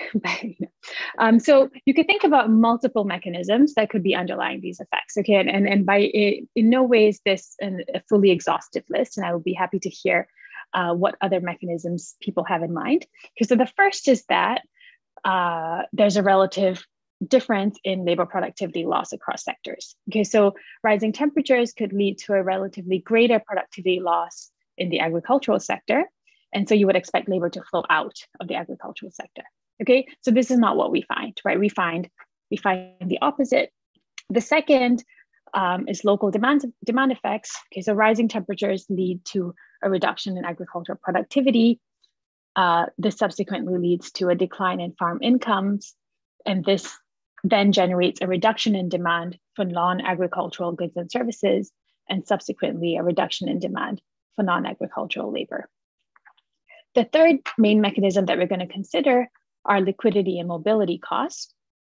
And so you could think about the cost to reallocation being non-zero and a reduction in farm incomes could inhibit the ability of workers to afford these costs. Okay, so you could think about these costs being, you know, simply transport costs, or you could also think about costs that arise from informational frictions, credit and savings constraints, etc.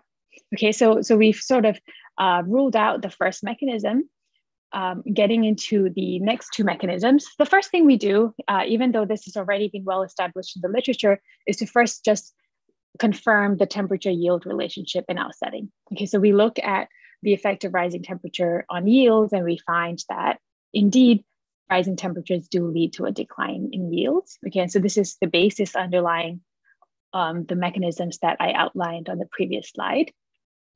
Next, we look at heterogeneous effects using two different proxies for development. Okay, the first, um, a little bit of a bias towards my previous work is looking at how effects of temperature vary based on road connectivity.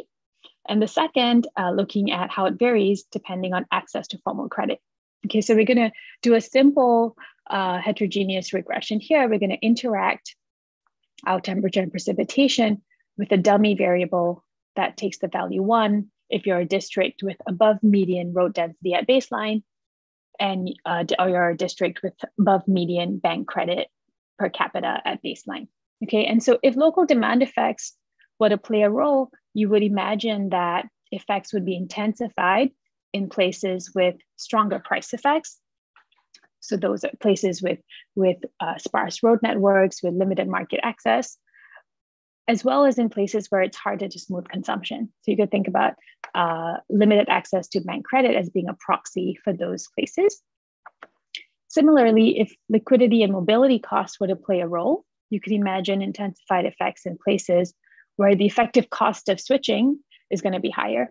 Again, uh, you could think of sparse road networks and limited access to bank credit as, as proxies for these areas. Okay, so the first heterogeneous results are going to be by road network density. And so what we find here, so the way we want to think about these regressions is um, the first the first row is going to be the effects of temperature in places with low road density. And the sum of the two coefficients are going to be the effect of temperature in places with high road density. Okay, and so what I have here in the in the table are the, the p-values of the sum so that you know you don't have to do the you have to figure out in your head if the sum of these two coefficients are different from zero. Okay, so what do we find? We find that all the adverse effects that I documented um, in, in, in part one are driven entirely by districts um, that have below median road density. Okay, and so again, these are just proxies for development. You can imagine many other things being correlated to, to having a sparse road network. Similarly, when we look at heterogeneity by bank credit per capita, we find similar patterns. So again, we find that the adverse effects on sectoral reallocation are driven entirely by districts with below median bank credit per capita. So looking at this, this first row here, um, as opposed to the sum of these coefficients, uh, we see that these p-values are all greater than 0.1. Okay, and so what this tells us is that both of the mechanisms that I laid out before could potentially be at play here. So now we take this one step further and we say, okay, let's try and disentangle these two leading mechanisms. And so we do several things. Um, so for the local demand effects, we do two checks. The first is we're going to look at consumption. So we're going to look at total consumption, food consumption, non food consumption. And so you would imagine that a decline in consumption would imply a reduction in demand for, for farm and non farm output. Okay, so that's the first test we're going to do is look at impacts on consumption. Next, we're going to look at impacts across different sectors. So we're going to look at non-agricultural worker shares in tradable sectors in construction and manufacturing, as well as in non-tradable sectors, the services sector. Okay, and so you could think about the non-tradable sector as being more susceptible to local price effects. And so we would find, we would expect to find a reduction in services if this mechanism were to be at play. When it comes to the third leading mechanism on liquidity and mobility cost, so if it's truly the case that you know a reduction in income is driving this inhibition for, of workers to, to afford these costs, you could imagine that these effects are going to be concentrated um, among workers for whom these constraints are more likely to bind. Okay, and so how do we how do we test this? We're going to look at two different proxies. We're going to look at caste and we're going to look at educational attainment. Okay, and so we think that these costs play an important role. We would imagine that the effects are going to be more concentrated among lower caste workers lower educated individuals. Okay, so these are the tests that we're going to do. So the first I'm going to first I'm going to show you the results on consumption and on sectoral worker shares. So what we find in panel A is we find a reduction in, in total consumption. We also find this reduction in both food and non-food consumption. And when we move to panel B, looking at worker shares across different sectors, we see that the decline in worker shares appears to be concentrated in the services sector. Okay, we do see negative coefficients on construction and manufacturing. So, so we're not saying that um, you know there, there was absolutely no change in those sectors, but these coefficients are not statistically different from zero. And so we find that the greatest reduction in worker shares appears to be coming from the services sector, so the non-tradable sector in these economies. Okay, and so what these results tell us is that this is consistent with this local demand effects mechanism playing a potentially important role in explaining what we find. Okay, so now moving to the third mechanism, um, here we're gonna look at heterogeneity by social grouping and by education. So in panel A, I split the results for non-scheduled caste and scheduled tribes. So we typically think of scheduled caste and scheduled tribe groups in India as a proxy for low caste individuals. Okay, and so so this is the low caste individuals. These are the, the higher caste individuals. And we see that the effects are pretty similar across the caste groups. Okay, so we don't find um, big differences across the across the columns. Similarly, when we look at effects for individuals who have low levels of education and high levels of education, we find that these effects are again quite similar across education levels. So, what we conclude from this exercise is that it doesn't seem to be the case that the liquidity and mobility cost story has, has a lot of bite. Okay, and so um, we also consider several other mechanisms. Okay, so we think about the fact that rising temperatures could, on its own, have a direct impact on the non agricultural sector. Okay, and so to rule this out, we look at the effects on both rural and urban non-agricultural worker shares. And just to give you a quick preview, what we see is that the reductions are coming only from rural non-agricultural worker shares and not from the urban areas. So if it were the case that um, you know negative effects of rising temperature really affect the non-agricultural sector, we should see it across both rural and urban settings, and we just don't find that. Another mechanism that one might think about is that this reduction in agricultural productivity could lead, could lead to some sort of land consolidation. And so we mechanically find this increase in agricultural workers.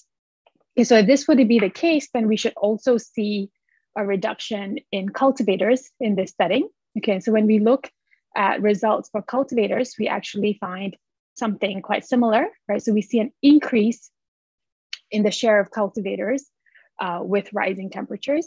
So it doesn't seem to be the case that um, there's, there's a land consolidation story going on. And finally, you could think about rising temperatures leading to a shift in cultivation practices, perhaps towards more labor intensive crops. And so as a result, again, we would find an increase in agricultural labor shares. So what we do is we look at um, the crop areas that are being grown and we see, um, we don't see an increase in, in labor intensive crop areas. In fact, we see, we see a decline in, in labor intensive crop areas. Okay, so I know I've gone through all of this very quickly because I'm, I'm trying to stay on time. Uh, so I'm gonna, I'm just gonna skip through the robustness. It's um, all in the paper if you're interested. But let me take this last minute to conclude. Um, so previous work has demonstrated that individuals reallocate across sectors in response to short-term weather shocks. And what we do in this paper is analyze medium and long-term effects in order to understand how agents are gonna respond to slow onset changes in climate. So we find that higher temperatures inhibit sectoral reallocation and effects intensify over a longer time frame. And these effects are particularly acute for individuals that live in underdeveloped areas, even within the same country, right? Um, so what this what this highlights is the need for interventions that make agricultural incomes less susceptible to high temperatures. And it also suggests that public infrastructure could play an important role in facilitating private individual level adaptation to climate change. So I'm going to stop here um, and I'm going to be very happy to take any questions. Thank you. Fantastic. Thank you so much, Yogita. Really interesting, really fascinating, a great context in which to look at this question um, with such a long panel of census data. A number of questions in the chat. Um, okay. Maybe I'll start and take them a little bit out of sequence. Uh, Marcus Poschke had a, has a question that relates to, to mechanisms. you showed some results, but Marcus, did you want to did you want to go ahead and ask your specific question and also say a little bit more about what you might have had in mind? Yeah, it's, it's a very simple question, and like if you haven't done it, maybe it's because it's not possible. But uh, um, your your mechanism really is about you know you you have this temperature change, and then you argue that uh, basically relative incomes change in sectors, and people move in response to that. Um, yeah. But apart from yields, you haven't shown anything directly about these relative incomes, right? So I was.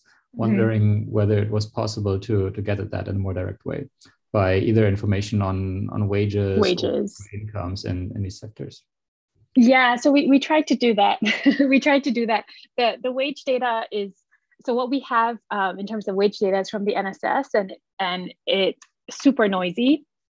So we weren't really getting um, anything that was that was very consistent um, but we can definitely go back and and and try that was you know i it it always each project has such a long runway that i can't even remember what we what what the real issue was but um, i can definitely go back and, and and think about that i wonder if perhaps the cost of cultivation data might have some agricultural wage data I don't know if they would mm-hmm. have enough on non-agricultural wages or incomes. Right. But that might be worth a look as well. Yeah, that's a great suggestion. Um, a couple of questions about, um, again, about the, um, so a question from Dambala about the potential, I think, for using non-parametrics and machine learning Dambala, would you like to unmute yourself and ask your question? Uh, yeah, I think it's, it's really, really it's a very great job and very interesting. And uh, but my concern is the full picture would have been uh, captured if uh, more the analysis subjected to machine causal forest analysis. Uh, these um, line promoted by Susan Athey, and uh, it really captures very interesting broader set of heterogeneous effects uh, mm-hmm. than interacting uh, variables with uh, with temperature. Yeah, I, think, I agree. I agree. Absolutely. So, so one one limitation that we faced, um, you know, with the heterogeneous effects is that we need measures at baseline. So we need you know what we used were, were road infrastructure in 1960s or the, the bank credit in 1960s and so we don't have a ton of variables that you know we could run through uh, one of these yeah. models and try and predict which would be the most interesting but but I, I fully agree that you know these were two that we um, you know i'm being perfectly honest here we had good data for and so that's what we went for but um, i agree that that would have been a very interesting exercise uh, did you try to kind of figure out the effect of temperature variance instead of the level per se. Does that make sense? How does yeah? So I think this is what came up earlier as well with, with Doug's question. So so what do you have in mind? Like what would you like to see? Yes, like maybe variance is kind of kind of it may represent because temperature is affecting income, and uh, its variance is going to be representing kind of a certain way income income risk which is kind of kind of uh, feed into behavior, maybe extend the behavior. Yeah.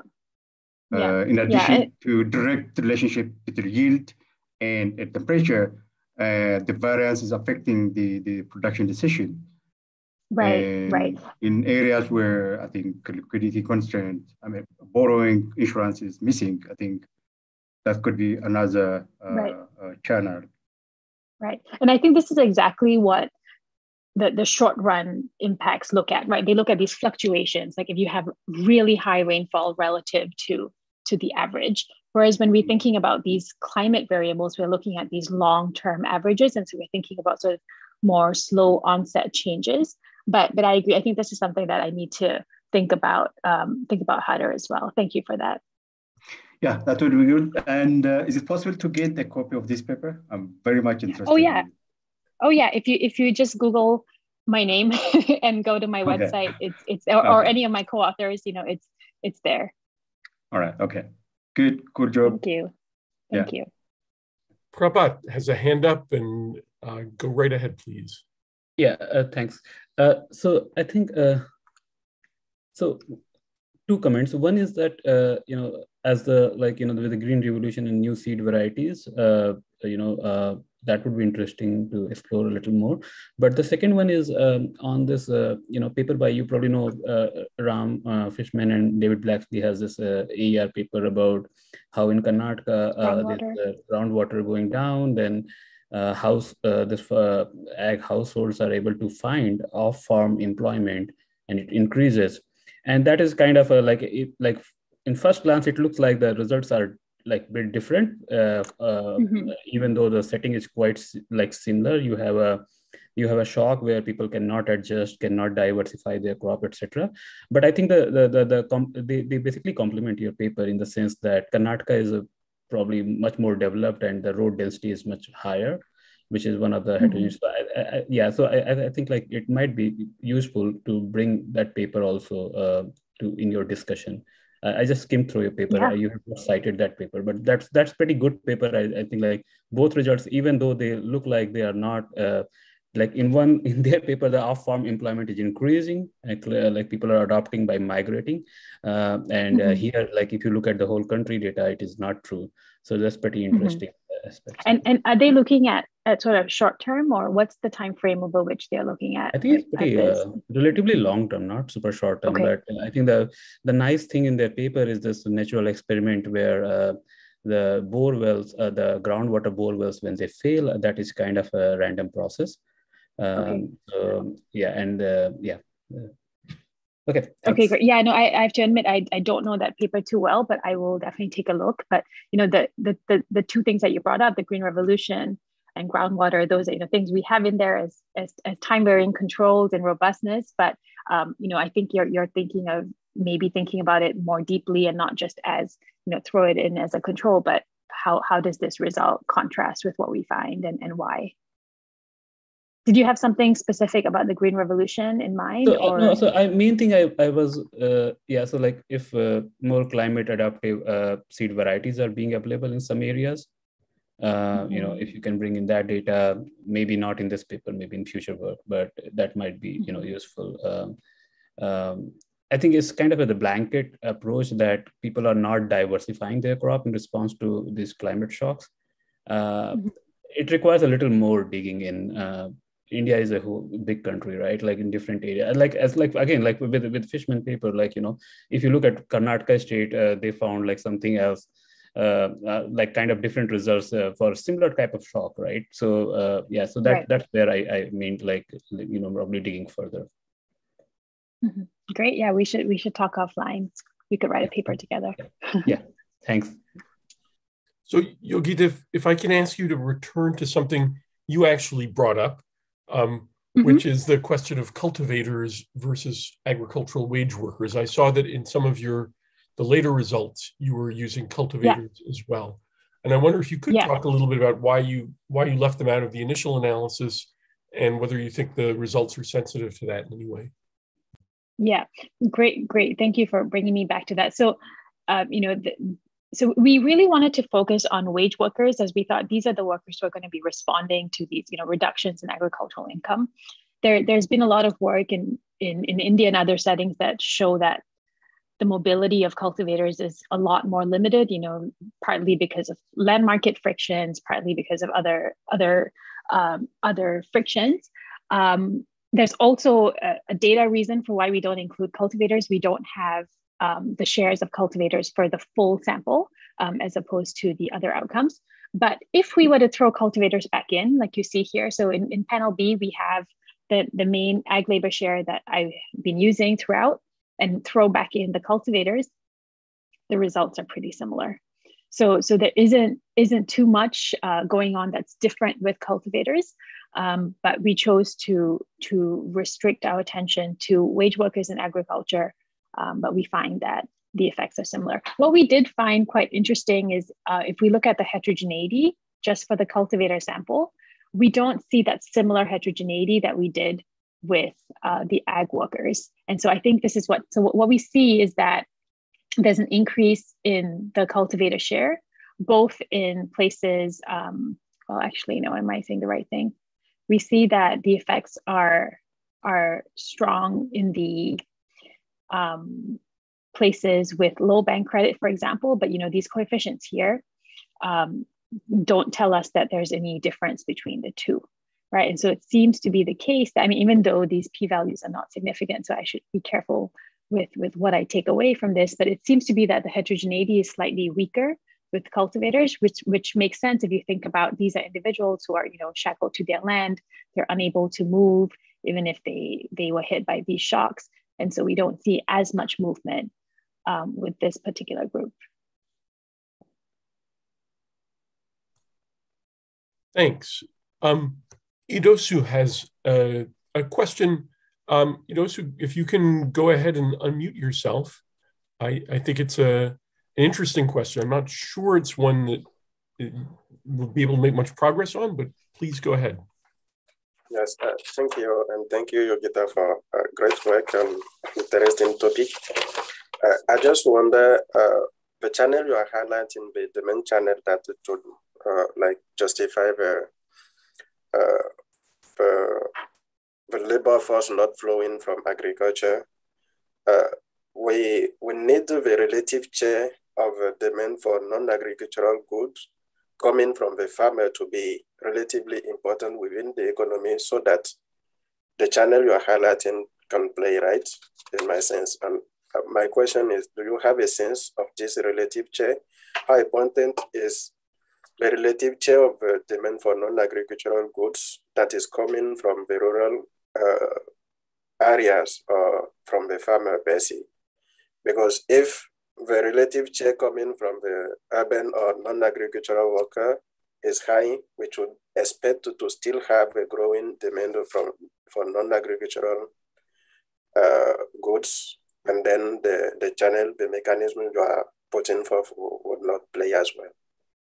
Mm-hmm. So, so when you say relative here, you mean uh, like farmer population relative to the whole population, or rural population relative to the whole population? These are no? these are consumption or expenditure shares. I think is the, yes. the question. Sort of is the is the consumption share or expenditure share of the rural population for non-agricultural goods does that need to be high um, or does that need to be high yeah, I guess it's a this is sort of a, a hypothetical. This is a GE question. I think that is trying to anticipate, which may be beyond the scope of what you have here.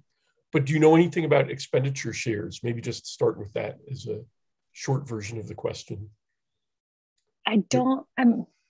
I'm trying to think. Um, I don't think we do. Don't think we do. But that's something. That's something that I'll put down to look into. Thank you for that. I'll, I'll have to think about this point. Yeah. Other other questions?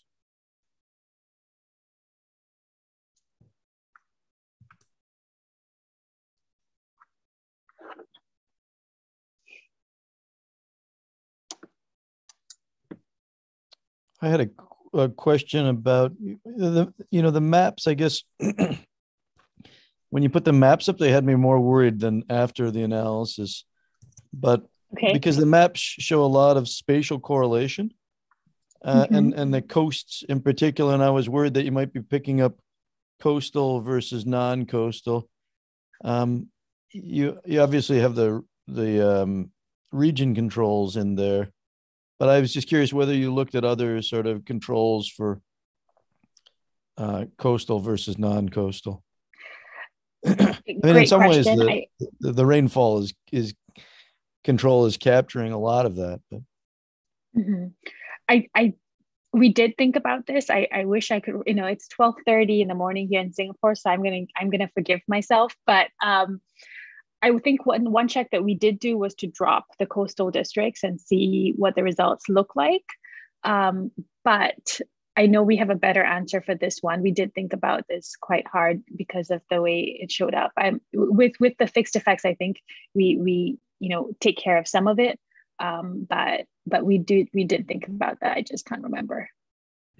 No need well. to apologize. It was an impressive paper and an impressive presentation, Thank especially you. for post midnight. I had my coffee, so I'm all set. Great. Well, I think if there's no other if there's no other questions, we've got um, just a couple of minutes between papers but we'll start right up again. I just want to say thank you, Yogita. I think this is a, it's a really important contribution.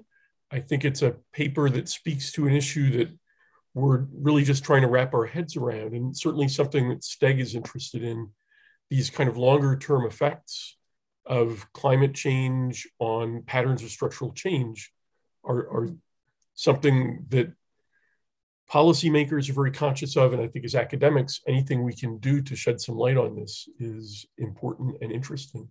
So many thanks. Thank you. And Thank you. Uh, thanks for a great and clear presentation. Um, so on that note, I'm going to turn the chair over to you, Joe, um, for the, the next full paper. Um, we have a minute or two, but we can just- now let's take a couple right minutes. Okay people can run to the restroom or get a drink or whatever it is very quickly. Fantastic. Okay, welcome back.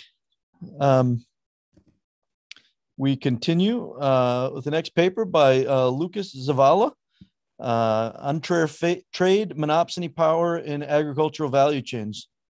Um, Lucas, do you want to uh, share your screen? Yes. Um, Again, people can unmute for clarifying questions, but um, otherwise, uh, type your questions in the chat and I will handle them at the end. Okay. Um, so I've got my slides in front of me and the camera off to the side.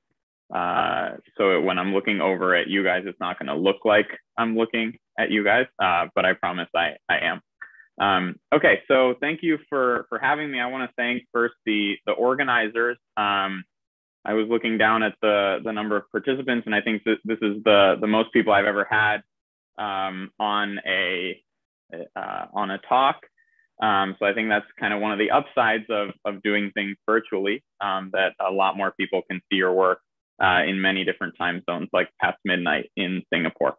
Uh, okay, so I'm going to talk about monopsony power in agricultural value chains. Um, and I think this is pretty easy to motivate to this room. So two thirds of the world's poor work in agriculture, uh, even in, in 2020. And so the division of surplus between buyers and sellers in these uh, value chains is going to be important for development.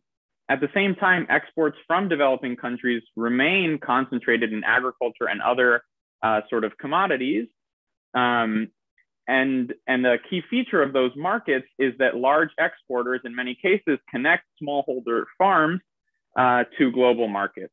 Uh, so that already kind of the, creates the potential for these large firms to take advantage of their size um, and, and potentially uh, depress farmer income. So that's exactly what this paper is going to tackle. So first, I'm going to ask to what extent does this exporter market power drive farmer income? Um, and I'm going to focus in particular in, in Ecuador, sort of as a, as a case study of, of some of these issues. And second, can policies like fair trade, which are sort of increasingly popular in this setting, uh, help farmers to benefit from globalization? Uh, so as I mentioned, I'm going to tackle this question in the context of Ecuador, uh, which is where I, I, have sort of access to this really great administrative data which I'm going to argue allows me to link exporters to farmers. Uh, now, I'm not going to capture, you know, every single uh, farmer, and I'm not going to to, to claim that, um, but I do think it's going to allow me to to see uh, sort of some important patterns. Um, once I've connected these exporters to farmers, I'm going to establish a few key facts. So I'm going to show in this data set that farmers receive uh, very low income and I'm going to kind of link that to the concentration or the size of these exporters uh, in those uh, sort of export oriented crop markets. Um, so to kind of get from these uh, cross sectional facts to a sort of measurement of monopsony power, uh, I'm going to use a model um, which is going to link that monopsony power to kind of two key dimensions of um, of decisions made by farmers. And that's going to be which uh, crops to produce and which exporters to supply conditional on the crop that you've produced. So it's going to be kind of the simple model linking the market power um, of the exporters to these sort of two key decisions of farmers. Um, here's where the trade context I think is really nice uh, in this paper. So that's going to help me a lot with the estimation because these exporters are going to be kind of large in the domestic market, but then turning around um, and much smaller, at least um, on the on the international market. Um, so that's going to allow me to estimate, kind of drawing on this on this uh, pass-through literature, uh, kind of back out these uh, key elasticities of switching crops and switching exporters within a crop from um, pass-through of, of international price shocks. And then uh, in the last two parts of the paper, I'll, I'll answer those questions. So first on the measurement side, to give you a preview, I'm gonna find that farmers receive half of their marginal revenue product. And this is accounting for some of the other things that exporters do. So the, the sort of value added, um, uh, if you will. And then kind of answering that second question, um, I'll run a couple of policy counterfactuals. Uh, the key one is going to be this kind of fair trade certification program, uh, which I'll model in a couple of different ways. I'm going to show that increases or has the potential to increase farmer income substantially. Um, and what I think is kind of cool here is that the model is going to allow me to compare that to some broader policies like uh, implementing, say, a, a, a, price floor across all, all crops. So sort of a blunter um, policy. Okay, um, so I, I, sort of mentioned these contributions already, but I'll just I'll just go through through quickly. There's a large literature, uh, growing literature on um, buyer power in agriculture. So sort of recognizing that these intermediaries, if you will, these um, firms that stand between farmers and and sort of their their larger markets um, do exercise some kind of monopsony power.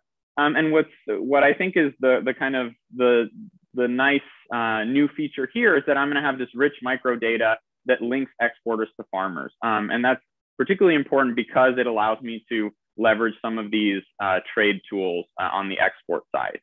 Um, another thing that I want to say here is uh, just on this last point. So there's kind of this uh, growing availability, I think, of these types of data. So I'm going to, you know, drive my measures of this value chain from um, financial data, from tax data, essentially, uh, and we're seeing more and more that um, countries, and especially kind of developing countries, are now starting to have the capacity to put together these data sets and share them. Um, and I think one of the cool sort of secondary contributions of the paper here is that um, I'm going to show how these, uh, these financial data sets and using these sort of very different tools from the agricultural trade literature um, still can produce some, some sort of estimates that are, that are in line. So I think that that sort of opens the door for using these data sets kind of, you know, beyond um, tax purposes. Okay. So now I'll explain uh, briefly, and I, I, think in general, my strategy here will be to be brief given how much time we have at the end uh, for questions. So um, I have a lot of buttons um, in the talk, and, and I'll, I'll kind of uh, explain briefly now how, uh, how I construct these, these supply chains. Um, so I'm going to start with customs declarations, and that's going to allow me to observe an exporter and the sort of crop they export. Now, crop here is going to be a very general uh, term for this HS six digit, uh, if you're familiar with the trade classification um, of products. and that's going to include things like bananas, cocoa beans, um, you know, unroasted coffee, for example. Uh, but I'm also going to call a crop any sort of animal product. Uh, so, for example, uh, in Ecuador, the second largest um, exported uh, crop is uh, is shrimp. So that's also going to be a crop, just to avoid saying animals and crops and so on. Um, okay, so I observe what these exporters are exporting, and I see both the value and the quantity. That's going to be really important um, later on. And then I'm going to link it to data derived from VAT receipts. So these are uh, filed by the exporter um, about the purchases that they're making from various suppliers. So in this sort of simple example, this exporter has two suppliers and I'm able to see the purchases. Uh, now, what I would really love is to see the purchases and the quantity from each supplier, um, but I but I don't. So uh, so you'll see uh, later on that my analysis will kind of collapse down to the level of the exporter because I'm I'm not going to be able to kind of differentiate between P's and Q's um, of different suppliers. Um, so once I've linked uh, exporters to the suppliers, I'm now going to merge in data from firm registry and other tax information, so individual kind of income tax filings uh, from these different suppliers. And that's going to allow me to classify suppliers in a sense. So again, in this simple example, uh, you know, I've observed that one of these suppliers is in the agricultural sector and another is in storage and transportation. This isn't really a random example. Uh, the largest category of spending for these exporters is, in fact, uh, agricultural uh, firms in the economy. And the second largest is transportation and storage. So that gives you a bit of a sense of what else those exporters are going to be are going to be doing. And that's kind of the so I say value added kind of in quotes because it's not the traditional notion of value added where you're just focusing on labor. Um, but this is sort of the other things that exporters are doing besides just buying um, the crop and kind of turning it around to, to the market. Um, so now once I've uh, identified those farmers or farms, um, I'm going to infer that what the exporters are purchasing from them are um, in fact crops. Uh, and I do a lot of um, digging into this, this data set and, and I'm happy to talk about that later. Um, so there are details about, you know, domestic intermediaries that typically come up as questions. Um, and, uh, and I'm happy to talk about, um, you know, my confidence that, that I'm actually measuring something about the agricultural um, economy. Um, so just quickly, will, will we do the same thing with the monitoring? I can't really see the chat at the same time. Um, to in, to kind of interrupt with yeah. Okay. Great. Okay. Um, so who's actually uh, in this data set in the end? Uh, well, kind of reassuringly, these farmers, which later on I'm going to index by F in the theory, uh, these are small, self-employed producers. Um, so one thing that's nice about them is because I have these other tax filings, I can see kind of how they're reporting themselves. So these farmers, they file, um, you know, disproportionately so over 90% of them are going to file this very simplified tax form that's basically what a self-employed individual um, would uh, would would file. Um, and so the interpretation there that I got also from kind of talking to the people that that helped me put together uh, these data is that that this is sort of a, a family farm. So that's kind of the the interpretation of a self-employed taxpayer in the agricultural uh, sector. Um, so are we capturing, you know, every single farmer? Potentially not, but but the but the idea here is that we are capturing kind of some of of what we think about as as smallholder um, farms, um, and I'll say more about that later. So so the exporters now, in contrast, they're much larger um, and they're highly profitable and they're almost exclusively in the wholesale sector. Um, so that's kind of giving you a, an idea that these are sort of intermediaries buying from uh, local producers, you know, also purchasing some some other um, inputs, combining those um, with labor and with that raw product, and then turning around and exporting it. Um, then uh, in, in general, these crop markets, which I'll index later by J, so J would be like bananas or coffee or cocoa, uh, they tend to be dominated by, by very few exporters. Um, and so we'll see uh, later on with the uh, with the facts, uh, how that, that comes into play. Uh, and then the last thing is that in general, these farmers are only supplying a single exporter, but the exporters are sort of sourcing from, from many different farmers. Um, and I have, uh, you know, so, well, one of these other buttons uh, kind of shows that um, the, the sort of difference between larger and smaller exporters within a sector isn't that they're sort of ordering more from each farmer, it's that they're connected to many more farmers. Um, so that's, that sort of helps um, inform the theory later on. Okay, so turning to the facts, uh, yep. Yeah, sorry, I, I, asked the question in the chat, but I, I think that's not working. So yeah, um, I can't see the chat. Sorry. No, no, no worries. Can you just one one thing I missed is you talked about the profits of the exporters. How are you inferring these profits? Is that just residual from kind of value added uh, they pay from kind of the customers and then the export value, or is that kind of is there more involved involvement in, in getting this?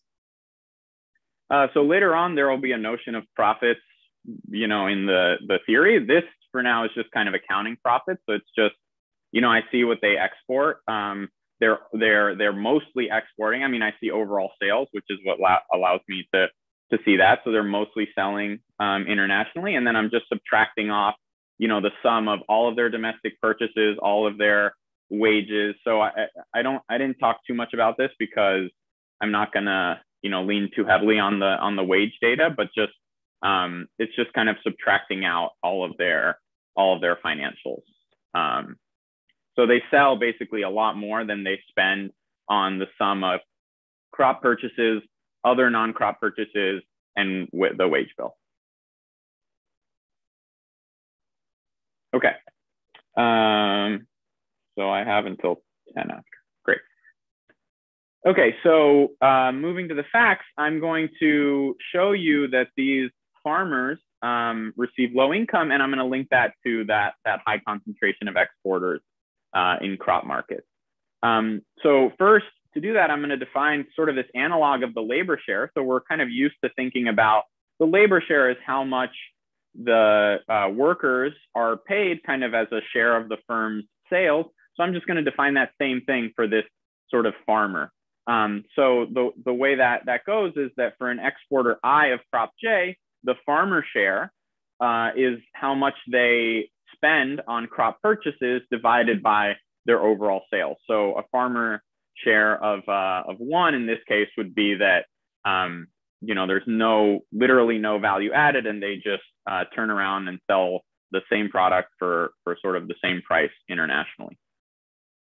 So what does this graph show? On the x-axis, it's the farmer share of export value. Uh, and on the y-axis, the sort of share of exporters in each bin. Uh, and this blue line indicates that for every dollar that exporters earn, farmers earn less than a quarter. Um, now, obviously, that could all just be from value added if everything that, you know, what the exporters are doing between labor and, and other inputs adds up to that other 75 cents, um, then, then we wouldn't have an issue. Um, but I'm going to argue that even kind of within a crop, you'll see this variation that's not fully explained um, by value added. And later on, um, uh, explained by the model. So to do that, I'm going to uh, I'm to define something else that I'll sort of refer to as exporter size, um, but it's it, it, in a way it's like a monopsony market share.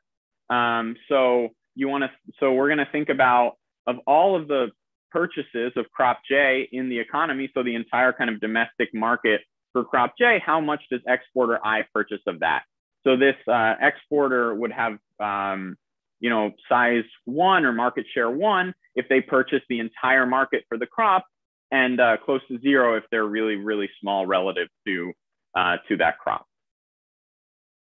So here I'm plotting on the y-axis that farmer share of export value from the last uh, slide, and then on the x-axis that relative exporter size.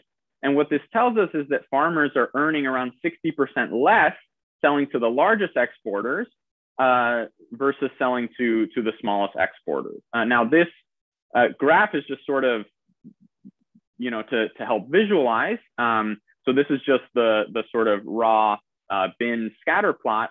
Um, but I show in a series of regressions that this doesn't seem to be driven by value added um, or kind of rough measures of quality. So, so here I'm just sort of doing this in a regression framework. And let's focus on this third column. So um, again, the dependent variable is the log of the farmer share, and the independent variable is the exporter's relative size within the sector. And here I'm controlling for crop year fixed effects. Uh, so this isn't driven by certain crops having very high value added and others uh, not. And I'm also explicitly controlling for some of the things that I observe. So the, the spending on other inputs and labor, and then also this uh, output price. So remember that I can see both export values and quantities.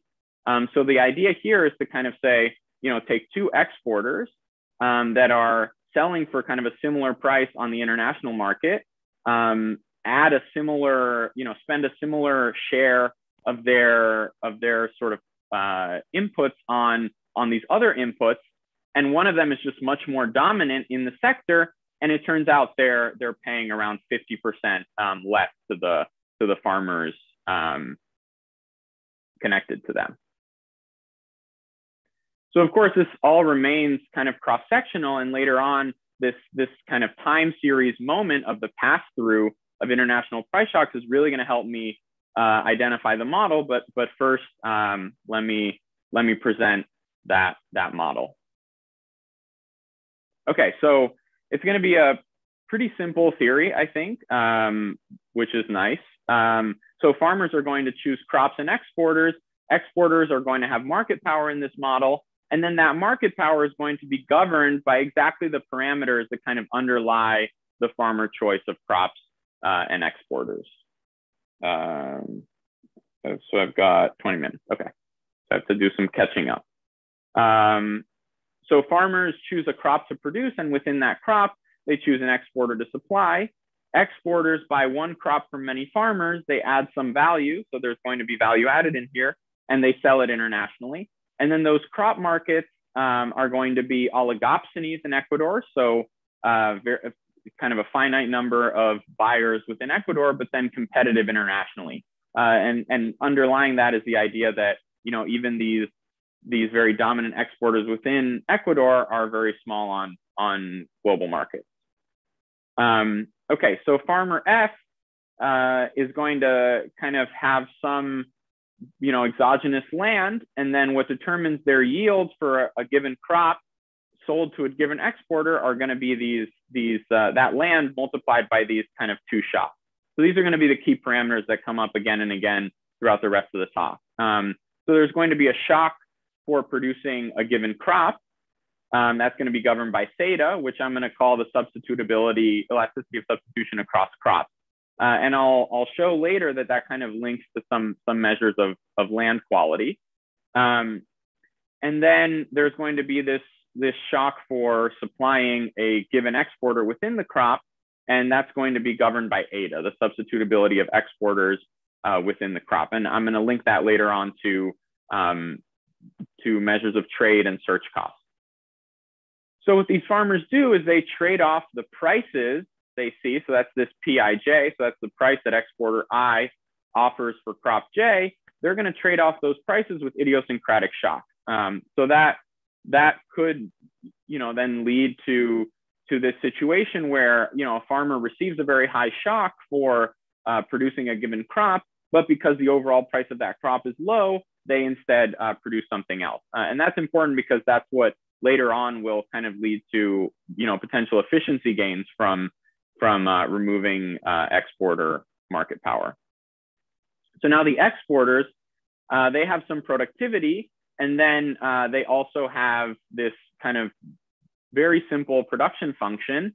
And this alpha here, the output elasticity of crops, is going to help capture value added, right? So when alpha is really high, then you need a lot of crops uh, to, you know, a lot of crops purchased domestically in order to export. And so that's very little um, scope for value added um, and vice versa when, when alpha is low. Uh, so they receive these kind of exogenous world price shocks and they're maximizing profits. Um, and so the key thing here is that the exporter internalize their influence over prices. So they kind of take into account that when they offer a certain price, that's going to um, determine the trade-off that that farmers make, and that's that's kind of what's at the heart of the market power here. Um, and then the the market's just clear. So what the exporters purchase from from their whole set of farmers adds up to to their to their total uh, offered at that price. Um, okay. So um, just to, to kind of fill this out a bit, um, the, the sort of math behind, behind these shocks is going to be this kind of familiar nested logit math. So the idea is that eta governs the shock for reaching exporter i within crop j, and theta the overall shock. Um, and so the, the, the sort of choices of the exporter uh, or of the farmer, the probability that they choose exporter I of crop J is going to have this um, kind of nested structure. Uh, and what this implies here is that the higher is this eta, so the more substitutable are these exporters from the point of view of the farmer, the more that the exporter price drives the decision. Um, so that's sort of a, a, a natural um, way of thinking of this.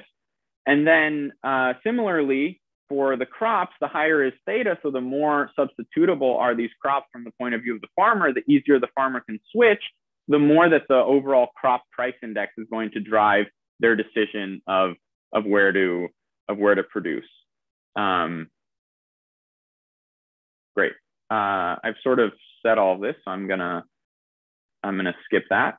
Um, so now exporters are going to set prices strategically given their production function and the kind of supply curve that's aggregated up from those farmer decisions, uh, from those uh, choice probabilities. And what that will give us is that is this kind of closed form for the for the farmer share um, that's going to be a uh, a product of that value added term and this sort of supply elasticity of the of the supply curve.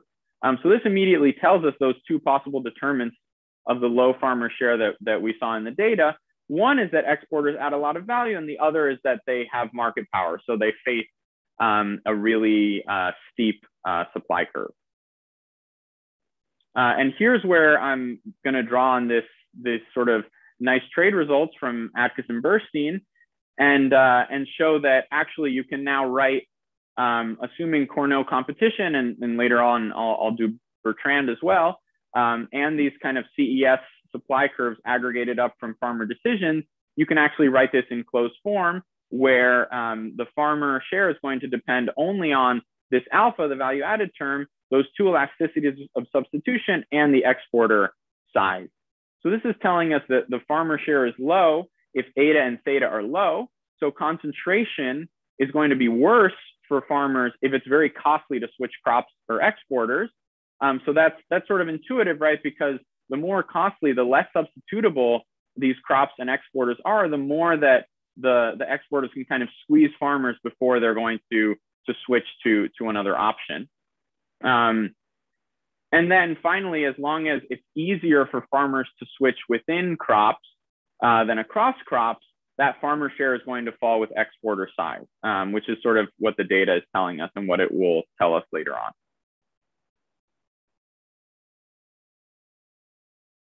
Okay, um, great. So caught up uh, mostly. So now to estimate this, I'm going to take advantage of um, the, the sort of small open economy nature of Ecuador and use the pass-through of international price shocks. Uh, so I'll, I'll say this briefly. But the basic idea here is that as um, eta and theta begin to, to, to differ, you're going to have both incomplete pass through. This is kind of a the, the standard variable um, markups, or in this case, markdowns, because we have monopsony power result, um, where as these elasticities differ, you're going to have both incomplete pass through, and in this case, uh, it's going to decline with, with exporter size. Um, and it's kind of going to decline more um, as the, the difference between, between these parameters um, grows.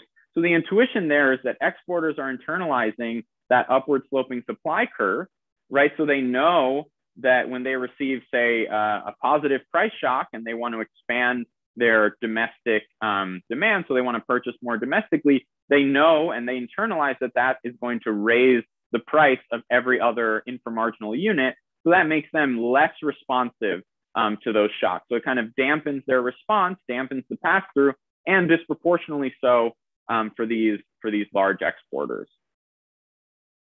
Um, so I don't directly observe the prices of the farmers, um, but with this with this sort of um, production function setup, it, it turns out that actually I can still get get some idea of the change in prices just by looking at the sort of the difference between um, the the log change in spending on farmer inputs and the log change in the output quantity. So the idea there is, uh, you know, to export 50 kilograms of coffee, you know, I have to purchase, you know, something like 50 kilograms or some sort of fixed share um, of that um, of that quantity. So so these sort of changes are still informative of changes in price.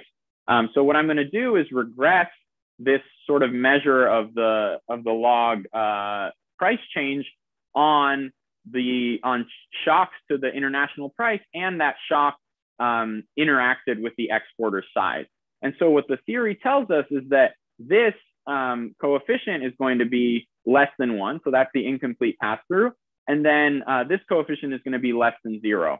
And I've highlighted these in green and purple because they're kind of um, that that sort of which uh, coefficient is informative of which underlying parameter. So that kind of baseline pass through is kind of more informative of the substitution patterns across exporters, um, whereas the, the other one is more informative of um, substitution patterns across crops. Uh, so briefly, that's just because, you know, if you think of a very large exporter, uh, they don't face much competition within their crop, right? So their pass through is mainly disciplined by that switching across crops.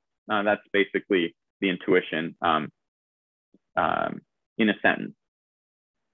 Um, so how am I going to get from these coefficients to those underlying parameters? I'm going to use indirect inference. So I'll construct those price shocks, and that's uh, pretty standard using Comtrade data um, and other specifications as robustness. I'm going to estimate that pass through in the data. Um, I'm going to simulate it in the model. So in the model, these are kind of complex functions of those underlying parameters, um, eta and theta, and then I'm going to match those. Um, so I can click through a lot of the buttons later on, uh, but the, the basic idea here is um, what I want to point out is that these values in the data uh, are indeed less than one and, um, and negative. So pass-through is incomplete and declining as the, the exporter size within their crop grows. Um, and these are, are kind of the parameters we, we get out of it. Um, okay, so the one thing that I, the one button I do want to click on, and then I can come back to this later, is uh, that these estimates of eta and theta, they have, they kind of map back through that theory of discrete choice to um, parameters in the agricultural trade literature so um, so this setup does kind of map into this idea of land heterogeneity from a number of of papers and the kind of dispersion in land heterogeneity. And so one thing I do is kind of convert my theta to that that implied parameter um, sort of standardized across a number of papers, and it's it's sort of within the ballpark. And similarly, um, that eta maps into a, a, kind of iceberg trade cost or iceberg search cost um, across exporters and so I, I sort of map that um, and, and, and show that it's within, within the ballpark as well. Uh, and notice this is a completely different, you know, not, not spatially, um, ri- not particularly spatially rich source of variation where these other papers are really, um, are really very, very uh, spatial in nature. Um, okay, I, I can go over this later on. Uh, so now let me turn to actually answering the two questions I posed at the beginning. So on the measurement side, uh, just first as a benchmark, I'm gonna ask, what if exporters were perfectly competitive? Um, so here I'm showing that if I removed those, those sort of markdowns from the international price to the, to the farmer price, um, so if I remove that monopsony power, farmer income would be 70 to 80% higher, and that's pretty stable across the Bertrand and Cournot um, specifications. and um, that would be kind of split between redistribution and efficiency gains. So the redistribution here is from all farmers now earning their marginal revenue product, right? So it's not that their price is not depressed below the, the sort of international market price. Um, and then some additional gains from efficiency. So this was the point I brought up earlier about once you remove those markdowns, now say uh, a farmer that you know potentially chose um, cocoa would in the new e equilibrium um, choose something where they had where they had a, a, a higher shock, but where the where the price had been sort of relatively more more um, depressed. Um, I look at heterogeneity, so the largest gains are in the most co concentrated crops, not surprisingly. Um, and then hopefully I can talk about this more later, but um, you know the kind of two alternative explanations in the background here are insurance and sort of this idea of fixed costs. So I have uh, some evidence um, in the paper that it's not fully explained by those, um, and, uh, and, and I'm happy to go into that in more detail um, in the question. Okay, so just to, to make sure I get to the policy, um, the, the, the sort of measurement and thinking about perfect uh, competition is, is a far cry from actual policies in place to fight monopsony power across the world uh, and one that's gaining in, in popularity is this sort of fair trade policy or related certification programs for sustainable farming. So these have a lot of components, many of which have nothing to do um, with, with the economics of, of these markets.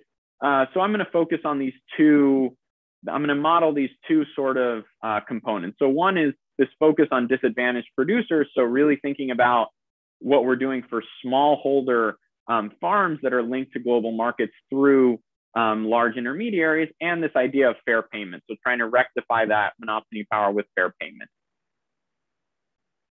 So how am I going to introduce that in the model? Um, so kind of stripping away, you know, a lot of the notation, what's happening for the typical exporter, they're maximizing, you know, some, um, some profits that are going to depend on their productivity that quantity that they purchase of crops, um, that value added term, and then the price um, that they're paying. So this P is a function of Q. That's kind of the, the, the market power um, idea. And then what that yields is that the price they offer to farmers is lower than the marginal revenue product of farmers on the international market. So now I'm going to introduce this exporter who does not do that, who's basically competitive. So takes that so faces the same supply curve, has the same sort of techno- access to the same technology as the normal exporters, but is not internalizing their influence. So they're at behaving competitively. And so that leads um, instead that that, uh, that exporter is going to offer farmers uh, a price equal to their marginal revenue product.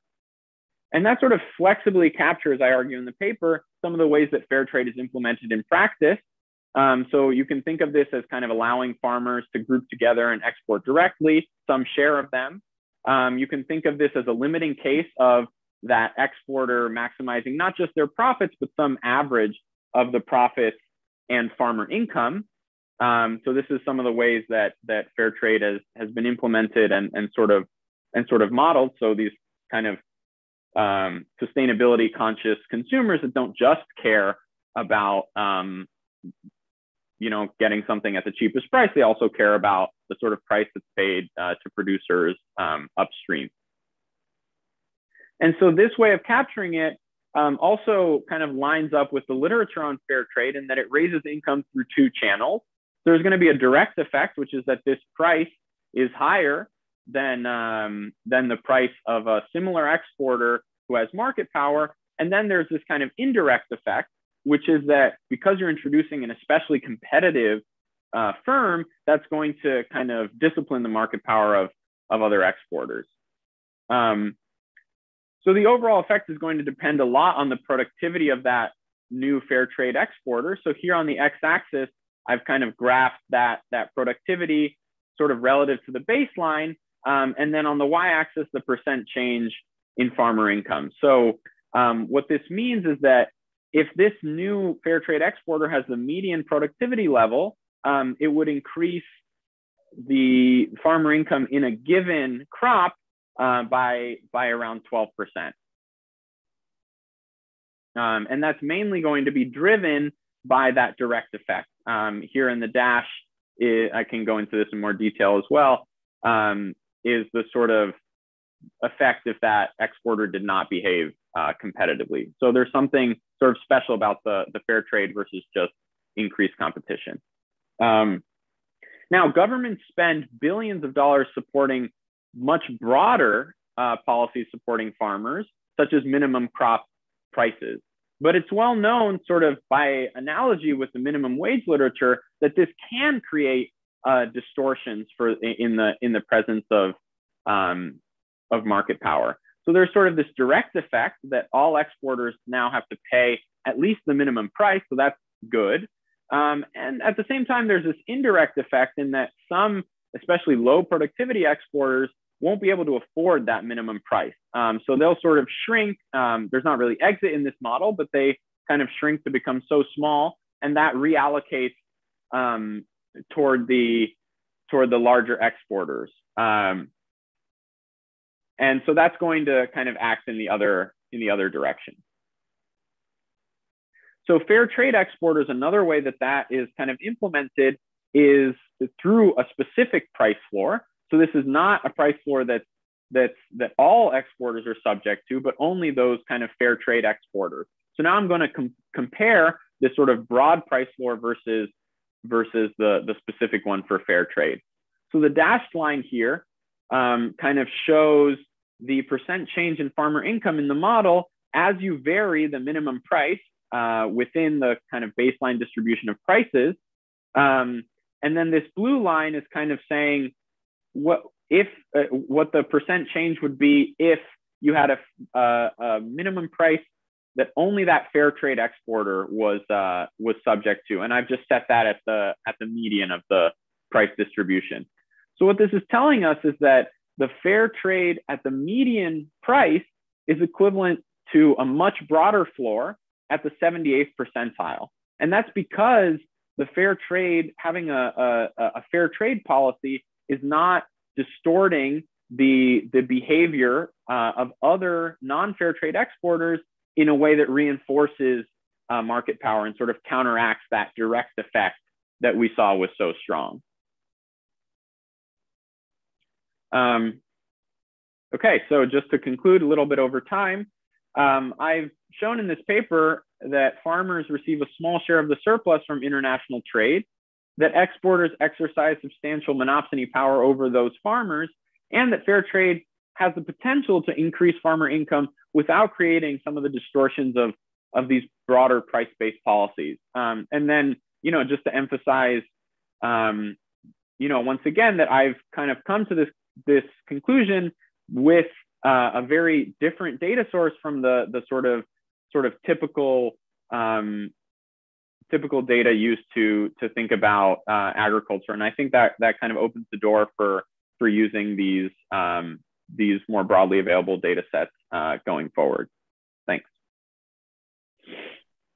Thank you, uh, Lucas. That was uh, was excellent. That was a really nice blend of model and data to quantitative analysis to address a, an important uh, macro development policy question.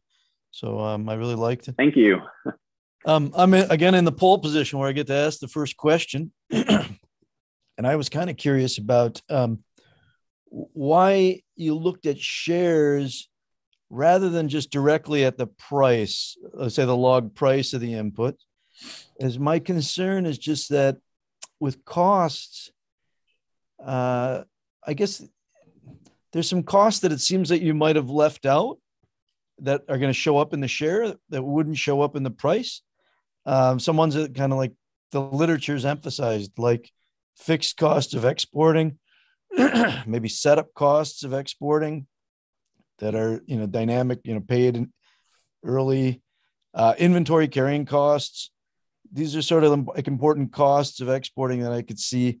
And so why not just go directly at the price that the farmer gets, and then and of course express it later on in terms of shares, but do all yeah. the um, so I have done that. I think the so the main re I yeah so so this kind of goes back to something I mentioned briefly, which is that I see kind of the quantity at the port, but not um, otherwise. Um, so to so I mean, one thing I could do is kind of divide the farmers' payments, so like the value by the the sort of export quantity, um, which could be different, right, from the import um, quantity, and that that and that's something I have done.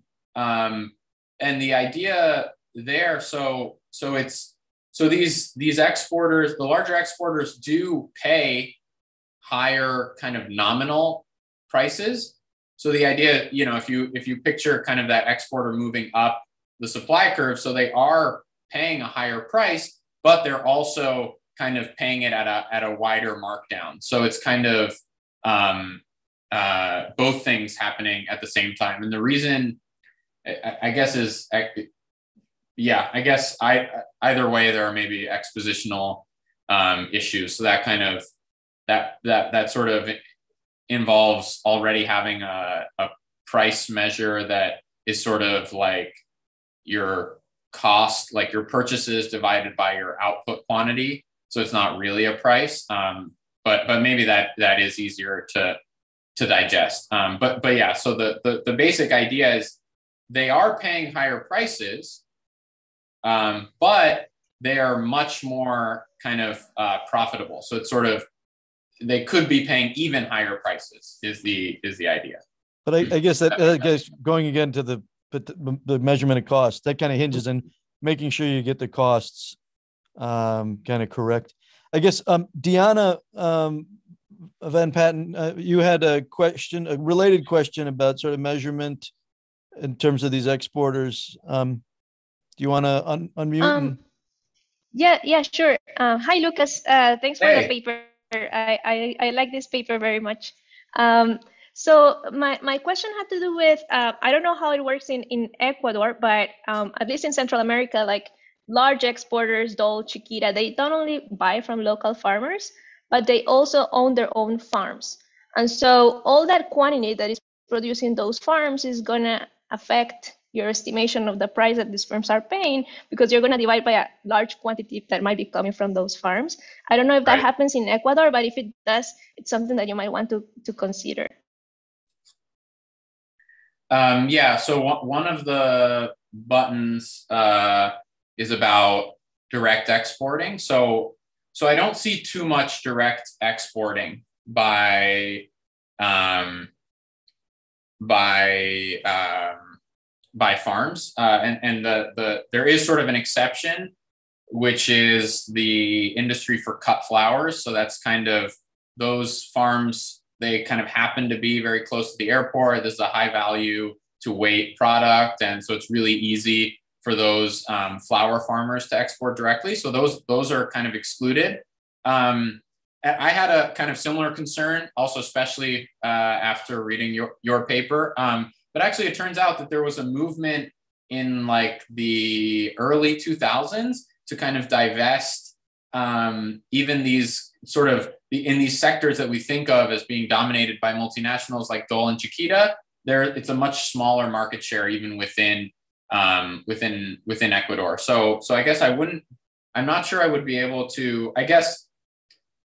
Yeah, I guess then what would happen? I guess what you were what, what you would what you would say there is that if I sort of observe Dole and Chiquita as uh, say an exporter, and then you know they are also owning their own farms, then maybe some of what I'm calling wages is actually uh, you know payments to to farmers.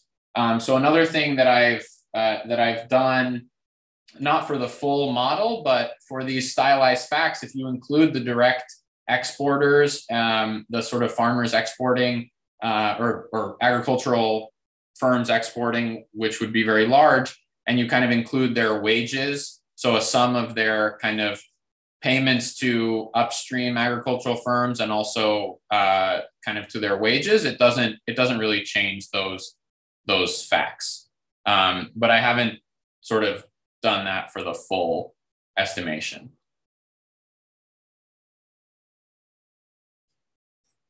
There were a, a few related questions about sort of um, what you know where the source of the market power might come from, why there's not entry, and, and why farmers might still sell uh, to big exporters. Um, Russell Morton, uh, Nezi Gunnar, and, and Paco Boer, do you guys want to unmic? And maybe I sort of feel like they're kind of related. So maybe you want to take all three and then kind of answer them. Lucas? Great. Why don't we start by Russell? Third place among finalists. And that's great. Thanks for sharing this this paper. I was just curious about what are the kind of the sources that are preventing exporters or kind of new competitors from from emerging in the export uh, for the exporters, and why is this appear to be differential by crops? From understanding kind of that that graph you showed earlier that had the downward sloping regression line. Uh, Nezi? Yeah, the, uh, one reason the farmers might want to sell to large uh, exporters might be some kind of a credit relation. So they could maybe these big firms allows uh, help them to smooth consumption. They could borrow maybe for what they're going to sell in the future. So this kind of credit relations will in, will not show in the price, but it will have an additional value. Paco. Maybe we lost Paco. Are you there?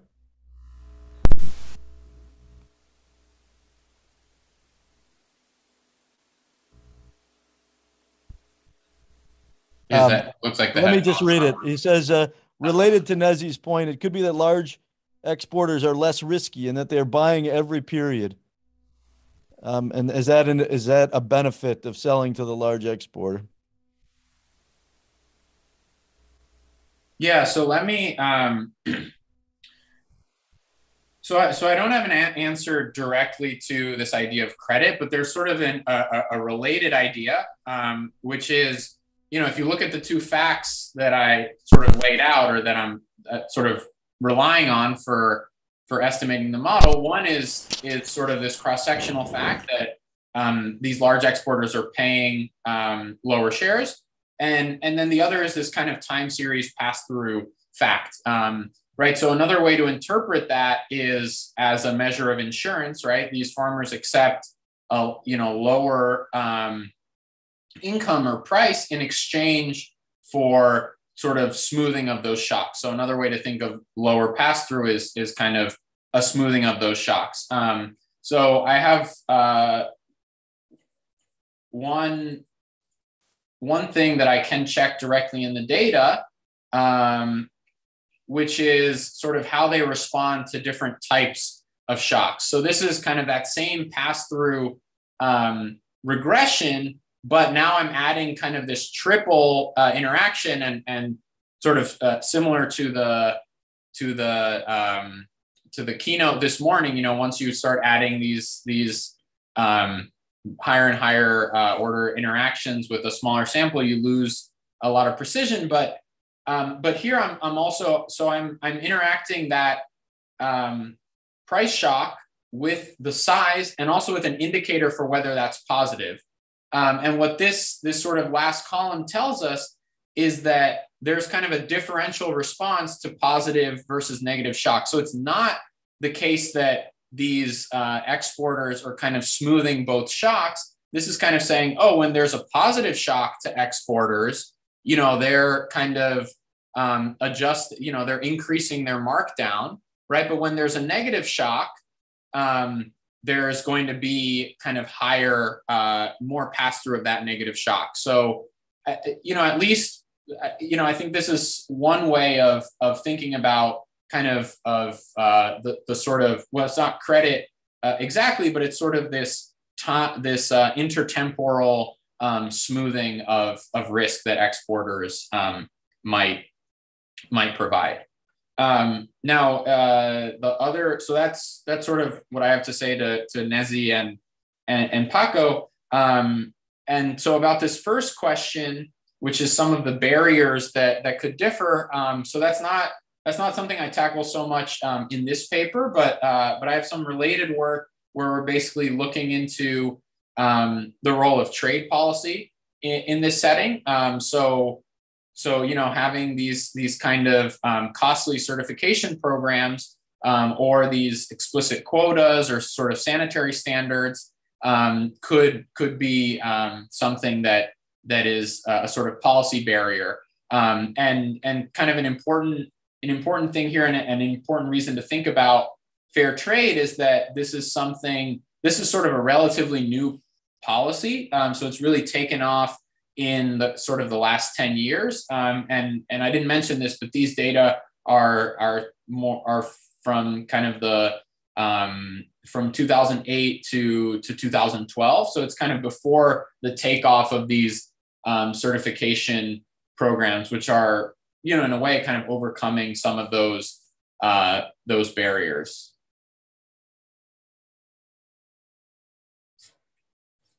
Was a, a quick follow-up uh, question, and then we'll uh, we'll have to move on. Um, uh, Jonas had mentioned, and I also had the question about sort of like when it comes to the fair trade. actually, I don't know. Maybe fair trade's more recent in Ecuador, but fair trade's been around uh, for decades. But in terms of the world, um, sure, but yeah. how big are these fair trade producers? Because there's a sense that they're they're relatively small. I guess I have a concern that maybe that indicates that there's some costs there's there's some capital expenditure costs that are needed to get larger or something but how, how big are there and how does it compare with kind of the model in terms of the counterfactual? Um, so yeah so one thing is the size of the kind of intermediary and the other is the the size of the the producer. So so this was the this was uh, this point here that a lot of these fair trade policies in practice actually have a limit on how big the certified farm can be. Um, so the idea is to certify kind of small um, farmers um, and and kind of specifically focus on on those smallholder farmers. So it's not the idea isn't okay now this you know massive like factory farm is is certified. Yeah, I meant just uh, I meant trade. more the exporter and the share of the market. Yeah. Um, so one thing I do there uh, is to kind of benchmark that uh, against. So just by kind of introducing these, so that's going to how big this exporter is, how much of the market they capture is going to vary with, you know, well, in the model with how productive they are, or in the other specifications, which with how high that minimum price is. Um, but I can kind of compare that to the micro literature. Um, so there's this uh, really uh, great paper um, by Dragusanu uh, and Nunn that kind of looks at fair trade. I think maybe it's in Costa Rica. Uh, I don't remember, but it's um, it's a fair Yes, trade paper. yes. It is right. Okay, great. Um, and uh, and so I kind of validate this is at the median productivity level. Um, kind of those those effects because I was shocked. I mean, they seemed really large, like twelve percent income increase. But the basic idea there is like the income's so low to begin with, it's not hard to to increase it much. So so what you're looking for is this last part. So quantity certified. So that median productivity exporter captures about 20% of the market, which is sort of in line with um, with that micro um, literature. Um, and I think it it so that so the way you started the question kind of connects to one of the other ways to think about this fair trade working, right? So in the background, um, I haven't modeled this here, but some of these other papers about fair trade um, think a lot about the demand side of fair trade. So you know you have these uh, consumers. Um, you know when you go to a coffee shop or to the supermarket, maybe you prefer to buy the fair trade over the the kind of Maxwell House uh, variety of coffee. Um, and those uh, studies find that that consumers are not very sensitive to the price. Um, so they so basically consumers really like that things are produced in a sustain in a sustainable way and that farmers are are sort of getting good livelihoods. Um, and so that's sort of I think some of the power of of, of fair trade, which is that um, you know the the it, it's sort of by analogy with the tax literature, that that in, the incidence of fair trade is is kind of on this very insensitive um, cons- price insensitive consumer, and that is what's sort of the technology of it that you know th- that is going to help kind of overcome um, some of those costs of of say coming together um, as uh, as farmers to to export directly. Okay, thank you very much, Lucas. Uh, it was a, a, very interesting paper, and I hadn't uh, seen you present anywhere, but uh, I'm impressed. So, um, thank you. Let's, Mandy. Do you want me. to? Uh, you're welcome. Uh, Mandy, do you want to take over now that we have another speed round coming up? We have actually two speed rounds coming up with a break in the middle that will allow people to continue conversation. Uh, you know, after the first speed round, um, but we urge you to come back for the second speed round just to finish a sentence that was uh, brought up by a good point was that I think all regions that have, are land abundant and very agriculture based, that this generates a natural floor under the wage. It is true of Latin America and true of Africa. Um, so I would agree with the point, but I would say, nevertheless, Latin America has been more successful in exporting than, than Africa has. Uh, great, thanks for, for answering in the last two. Hey, uh, Nancy, I had a, a follow-up question related to one of the previous, which what's your, if you think that the wages in the formal sector in Africa are, uh, I'll say in quotes, too high, what is it that's actually keeping them too high? If, if they're higher than in the informal sector, a worker from the informal sector should be happy to take a job in the formal sector at a somewhat lower wage. What's what's preventing that from happening? Um, uh, to to some extent, it's a matter of the, the it it's it's the fact that anybody who's dealing formally with big money, with any of the, there's big money and there's small money in these countries. If you're anywhere in the zone for big money, you're going to deal with the government, and the government is going to be controlling. So I, I, was amused by some of the papers the other day talking about search costs.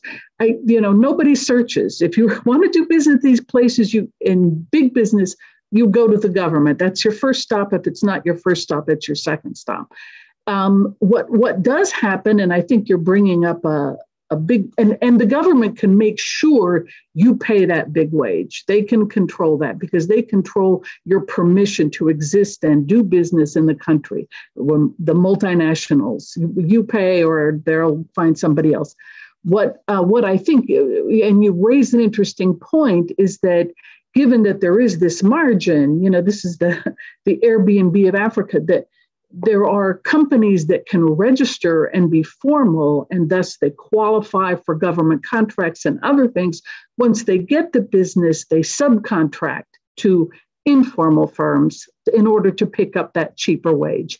Um, so th- there's there are constraints that stop formal firms from paying any less uh, for for workers, the way that they get access to the cheaper wage is to hire uh, hire an, a, a technically formal firm, which will then subcontract to an informal firm with cheaper workers.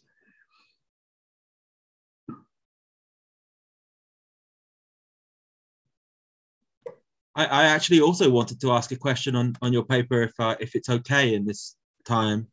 Uh, because it was it was really interesting that there were two things. What one was uh, sorry. Uh, uh one was uh, you, you talked about um, uh, the move from agriculture into uh, urban informality uh, being something that you has not only become very dominant but increasingly dominant. But I wondered if you, from your data, you also knew anything about uh, duration of employment once people move into urban informality? Is there because eh, i think it sounds as if you're able to some extent to track individuals. Is there any uh, elevator by which people spend a little bit, you know, sort of Harris Todaro style elevator where people spend a little time in urban informality and then move on to maybe larger informality and eventually end up in the formal sector? Or do people, or a large amount of people anyway, get really stuck there once they are, and, and sort of there's no path on? And the second thing I just wanted to say was you, you emphasize a lot about firms not wanting to become formal because of high uh, labor costs. And I, I also wondered, I, I, would assume that another reason why firms would avoid formality would be high taxes. And I wondered it, how those two things compared in terms of importance based on your experience. Mm-hmm. Um, uh, on the last point, absolutely true. They are also avoiding taxes. Um, and uh, related to labor, um, because the, the higher tax rate and the higher wages is basically it, the government creates these rents by these artificial means and then they dish it out. It's they're just divvying out. Um, we focus our surveys on firm owners, on entrepreneurs, and not so much on workers. Most surveys are about workers or households. We follow the entrepreneurs. And um, I think basically what we have found, and with, with the informal businesses in Africa, they they they have low lifespan, but people are constantly um, uh, winding up one business, they start another one. I mean, tracking them over time is really very difficult. They constantly dissolve and then reconstitute under a different name. Sometimes because the tax collector found them, so they just says, "Oh, well, that firm no longer exists," and then they'll just make another one that has another another name. So I can't say that we followed the workers very well what we can find, what we do, what we suggest in terms of recommendation is if you're if you're trying to get firms to formalize, then focus on the big ones because those are people who already know how to function in the big game. And they probably also have a fair amount of protection. They're just ducking and hiding. So, you know, those you can go after because they they have the, the capacity to, to survive better. The other is is don't do so much rent concentrating. It's a it's a bad idea. And part of this includes uh, government officials who are silent partners in businesses where they're in their day job. They create the rents for it. So there's there's a lot of things in terms of governance and economic management that should be should be improved. What the little guys need is also better economic management, better governance. They need better access, and Louis made a number of these points. They need better access to infrastructure, they need better quality infrastructure, they need better access to government services, they need a more honest government procurement practice. Um, so there's a lot of things that you can do for them that won't necessarily formalize them, but will help them raise their productivity. Um, very little of this falls in the realm of credit. Everybody wants to push credit on these guys. That's not what's important. They need more services, access, and quality of services, things the government can provide. And that will move them along this spectrum in that slide I showed very briefly. Productivity rises the more characteristics of formal firms you tend to adapt. The more you're like them, the higher your productivity. You can move them along the spectrum and eventually hope to sign them up. That, that was also something that I was interested to ask, and it's really interesting. I wanted to, is there also a, uh, what is the kind of intensive margin effect as well between the largest informal firms and the smallest formal firms do you do you notice a sort of jump in productivity once firms become informal or are the smallest are formal firms quite similar in terms of productivity to the largest informal firms? Um, what we find is that the largest informal firms have productivity that's close to formal firms. It's still less, but it's close. And the, the, the other mm-hmm. the other margin that you're talking about is um, um, it varies by country. And um, um let's see if I can I don't know if I can get this back, but whoops. Um, we need to share screen here for the coming breakout room, the, the new session. Sorry yeah. about that. Okay, sorry.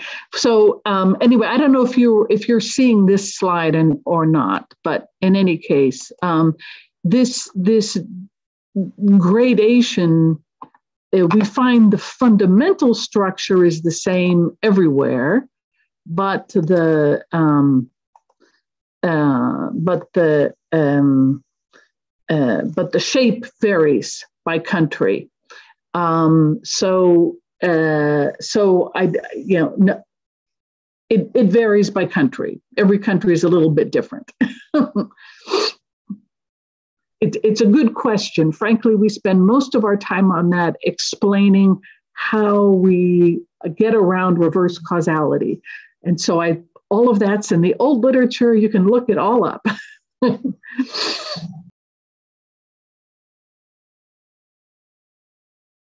guess we should get started. I think we're supposed to be starting now. Um, the last session of the day uh, is Yusuf Neggers. Um, Yusuf, you want to share your screen? Uh, he's going to be um, presenting on updating the state, information acquisition costs, and public benefit delivery. Um, so uh, go ahead. Great. Um, can you guys can see everything and hear me okay? Perfect. Uh, and um, I know that uh, Charity, who's one of uh, my co-authors on this project, is here she'll be um, away in the middle and then back. So maybe if you have any questions, you know, feel free to put them in the chat, but also feel free um, to interrupt me with those questions if it's during the point in time when Charity is not here. So um, great.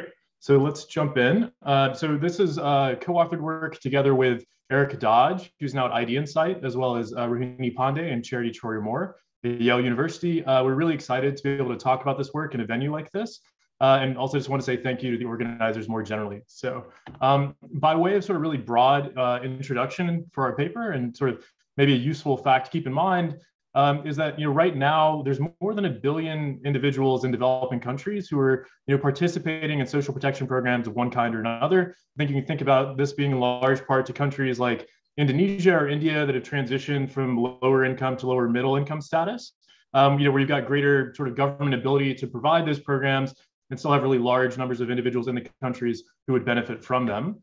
Um, I think there are two other things to keep in mind that are most often the case is that these sorts of programs are usually going to be administered through multi-tiered hierarchies of bureaucrats and or elected officials. And they're often, you know, we, we, you know, we have lots of concern about you know the potential weaknesses in the way that these programs are being administered or implemented that you know for a given level of inputs is going to limit the benefits that you know poor uh, beneficiaries uh, receive from you know taking part in these programs and understandably i think the primary focus uh, is often on rent seeking by government officials and also potentially shirking. Um, you know we certainly agree that that's likely going to be a very important uh, reason in, in most con you know in many contexts. And i think this paper isn't trying to say oh that doesn't matter. We're just taking a slightly different focus on a different dimension that you know will interact with say rent seeking or shirking potentially but it can also matter in settings where those sorts of agency problems are not uh, first order concerns. And so we're going to be thinking about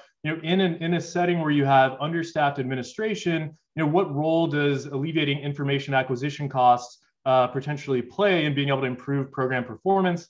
Um, you know, I think that uh, this recent paper by Dasgupta and Kapur has this term that you know sort of fits our thinking nicely of bureaucratic overload uh, being in settings where you have that, by which they mean you have bureaucrats who are sort of you know vastly under resourced relative to the responsibilities that they face. Um, and so we're going to be thinking about this in relation to the delivery of benefits in public in, in these uh, social protection programs. And so it's relevant then to, to also note that there's been a big push and a lot of uh, adv advocacy for this sort of push towards digital payment delivery, you know, so replacing in-person delivery of program benefits that are in kind or in cash to having, you know, electronic delivery into people's bank accounts. Um, and, you know, the usual design is that you'll have that endpoint being digitized. So you've got the payment delivery is digitized, but you still have all these steps earlier in the process that very much still involve the humans, right? The bureaucrats and potentially elected officials who have to do things like identify beneficiaries, sort of supervise all the steps as things are moving around. You know, forms are being signed off. You've got your, you know, the funds transfers are being uh, authorized, et cetera. Those people are still very much there. Um, and so what we want to think about is, is there additional traction that you can get by thinking about a tool or technology that sort of is focused more on those remaining early steps where people are still involved in the administration of these sorts of programs, and in particular tools that potentially lower the cost of information acquisition for those administrators. Now, I think that you know up front, it's, it's sort of ambiguous about the potential gains to be had from doing that. On the one hand, sort of the the the, the glass half full, sort of oh, the you know best best case would be look, you are in fact managing to reduce these problems of bureaucratic overload so that you know officials for a given level of effort are able to achieve more it's easier for them to say supervise subordinates complete their own tasks et cetera and then that could then maybe lead to improved downstream program outcomes on the other hand, if what you're doing is you're, you know, by easing information flows within the hi- hierarchy, you're actually just worsening, say, problems of collusion, you might actually make things worse. Or third case could be, look, it just turns out that these information acquisition costs weren't a binding constraint in this setting. And so, you know, if you reduce them, you're not really going to see much of anything happen. Um, so we're going to be thinking about this possibility more specifically in the context of the Mahatma Gandhi National Rural Employment Guarantee Scheme. Um, this is India's sort of massive rural uh, social protection program. Uh, it's a workfare program where if you're a rural household, you're uh, guaranteed technically up to 100 days of unskilled paid labor uh, per year. Um, you know, by virtue of the fact that it's occurring across India, it's massive in scale. Um, and the, the key thing I want to start keep having us keep in mind that I'll return to in more detail soon is that you can think of the administration of that system really occurring within districts um, so that you can think of three tiers that are relevant of the hierarchy. So you'll have at the top level, district level officials. At the middle, you'll have sub-district or block officials. And at the bottom, you'll have sort of frontline workers or bureaucrats uh, and sometimes locally elected officials that are working out in the panchayats, or you can think of those for simplicity, I'll say villages sometimes as well. And it's also worth keeping in mind that you know for, for a number of years now, wage payments in this program uh, to workers have been made electronically. And so what we're going to do is take advantage of what that means is in the background, there's a management information system that as say a worker finishes working and then um, things like measurement of work and the wage lists, et cetera, are working their way through the system, until ultimately that worker gets paid, um, we have access to data on as that's happening. So in real time, we can understand sort of for each you know each you know each each work cluster as it's moving through there we can know when it's happening how long it's taking et cetera so we've got that metadata access um, and so what we what we do is we use that to underlie an app that we created in partnership uh, with the Ministry of Rural Development um, in India and the and the departments, uh, the you know the, the, the chiefs at the state level of NREGA uh, in two states of Madhya Pradesh and Jharkhand, um, basically to create an app that the goal is to make it easier for administrators at different levels of the hierarchy to gather inf- information they need to understand, say, where delays are, are occurring, like at which steps, with which individuals, and which subordinate regions. And I'll discuss all that in more detail uh, in a few slides as well. Um, and we're going to evaluate the impact of this application um, using an at-scale RCT. So across the entirety of Madhya Pradesh and Jharkhand, uh, we're going to examine how plausibly lowering these information costs can matter for payment processing, and actually as well some tentative results on how that can matter for downstream work volume as well. Um, and I'll, I'll talk about that soon. Now, what we're going to do is also vary the level of the administrative hierarchy at which we're providing uh, the Paydash app. Um, so we're going to provide it to either the upper level district officials, the mid-level sub-district officials, or both levels of the hierarchy. And we're going to use that to try to tease out the, the, the relative importance of, say, capacity constraints for that middle level of the hierarchy versus, say, agency concerns of, say, collusion or shirking that would involve that middle level of the hierarchy as well and I'll talk, uh, give you know, sort of a really distilled version of the conceptual framework that shows, um, you know, why we think that this design lets us get at that. Uh, so to preview things, um, you know, we're going to find that the provision of Paydash to the upper district level or the mid sub-district level uh, reduces payment processing times uh, by about 11%. Um, and we don't find, uh, with a couple of different measures, any, uh, any evidence of adverse impacts on quality or corruption. Um, and as well, you may have you you may in your mind think of well, if you're sort of putting this tool in that changes information flows, perhaps there'll be spillovers onto you know other management strategies, the use of different sorts of performance incentives, et cetera. Uh, a tricky thing for us is it's very hard to, or that data essentially does not exist in any aggregated form as collected by the government. But what we were able to do ourselves is collect information uh, that was relevant to the intervention itself about officer transfers. And so that is transfers are an important dimension of performance incentives in this context. So we're going to find there a 10 percentage point reduction in the use of officer transfers uh, in, in areas where district officers have PayDash. Um, we are going to find some tentative evidence of increases in the days, uh, work days requested and worked um, of, on the order of 10%. I'm going to say tentative there because we are still in the process of getting in all the data there and cleaning it up. But I think that we're seeing, um, you know, this is what we're seeing right now, but I'll just asterisk it for now. Uh, we also find um, strong substitutability in the impacts of providing PayDash to mid and upper level officials, uh, su suggesting that the relaxation of capacity constraints for the middle level of hierarchy uh, is relevant in this setting. Uh, and as well, if we look at heterogeneity and impacts, we are going to find that the impacts are really concentrated in areas that have high delays as defined uh, based on pre-intervention measures, um, where it turns out that those mid-level officers actually are responsible for supervising a much larger number of village units or panchayats, um, which we think is further points to the relevance of bureaucratic workload for that level of the hierarchy uh, as part of what's going on and part of why PayDash is able to improve improve payment processing. Um, so let me give you all uh, you know some some context about uh, NREGs and also the PayDash app. Uh, I would just say you know I know there's um, given how we're digging into the details of hierarchy, I've got to kind of go through it in detail, even, even when you've got a shorter presentation time. Um, so again, we're talking about the National Rural Employment Guarantee Scheme. Um, it's massive in scale. Like I said before, you've got more than 50 million rural households participating yearly now. Um, in the fiscal year that we rolled out uh, our intervention, 2017, 2018, you see more than 2 billion person days being worked nationally. Um, and so what, you know, what, what happens after you complete a work spell uh, as a worker? So what you can think of the way that it typically functions, at least in the states in which we're working, is I as a worker will be working on a specific project and there will be six day cycles, so work spells, um, after which, you know, then the process goes of there's then verification of the work that was being done, filling out of wage lists, people double checking that. So this whole machinery of work verification and payment processing kicks into gear where what the government would like um, is the central government would is that I as a worker after a six day work spell should have money show up in my bank account within 15 days. And the government is going to officially split this into two different stages. So the first is stage one. These are steps that are the responsibility of these uh, village and subdistrict or panchayat and block equivalently bureaucrats. And the government would like to see those steps taking place within eight days and then you can think of there's like a funds transfer order that's signed off on and it's sent off to the bank. Then the government says, oh, that's in stage two. And that's where, you know, you've got a week, uh, the banks have a week in which they're supposed to disperse that money. Um, you know, given what our app is doing and who we're providing it to, we're going to focus on uh, the time taken and the variability of time taken uh, for stage one as our sort of main outcomes here.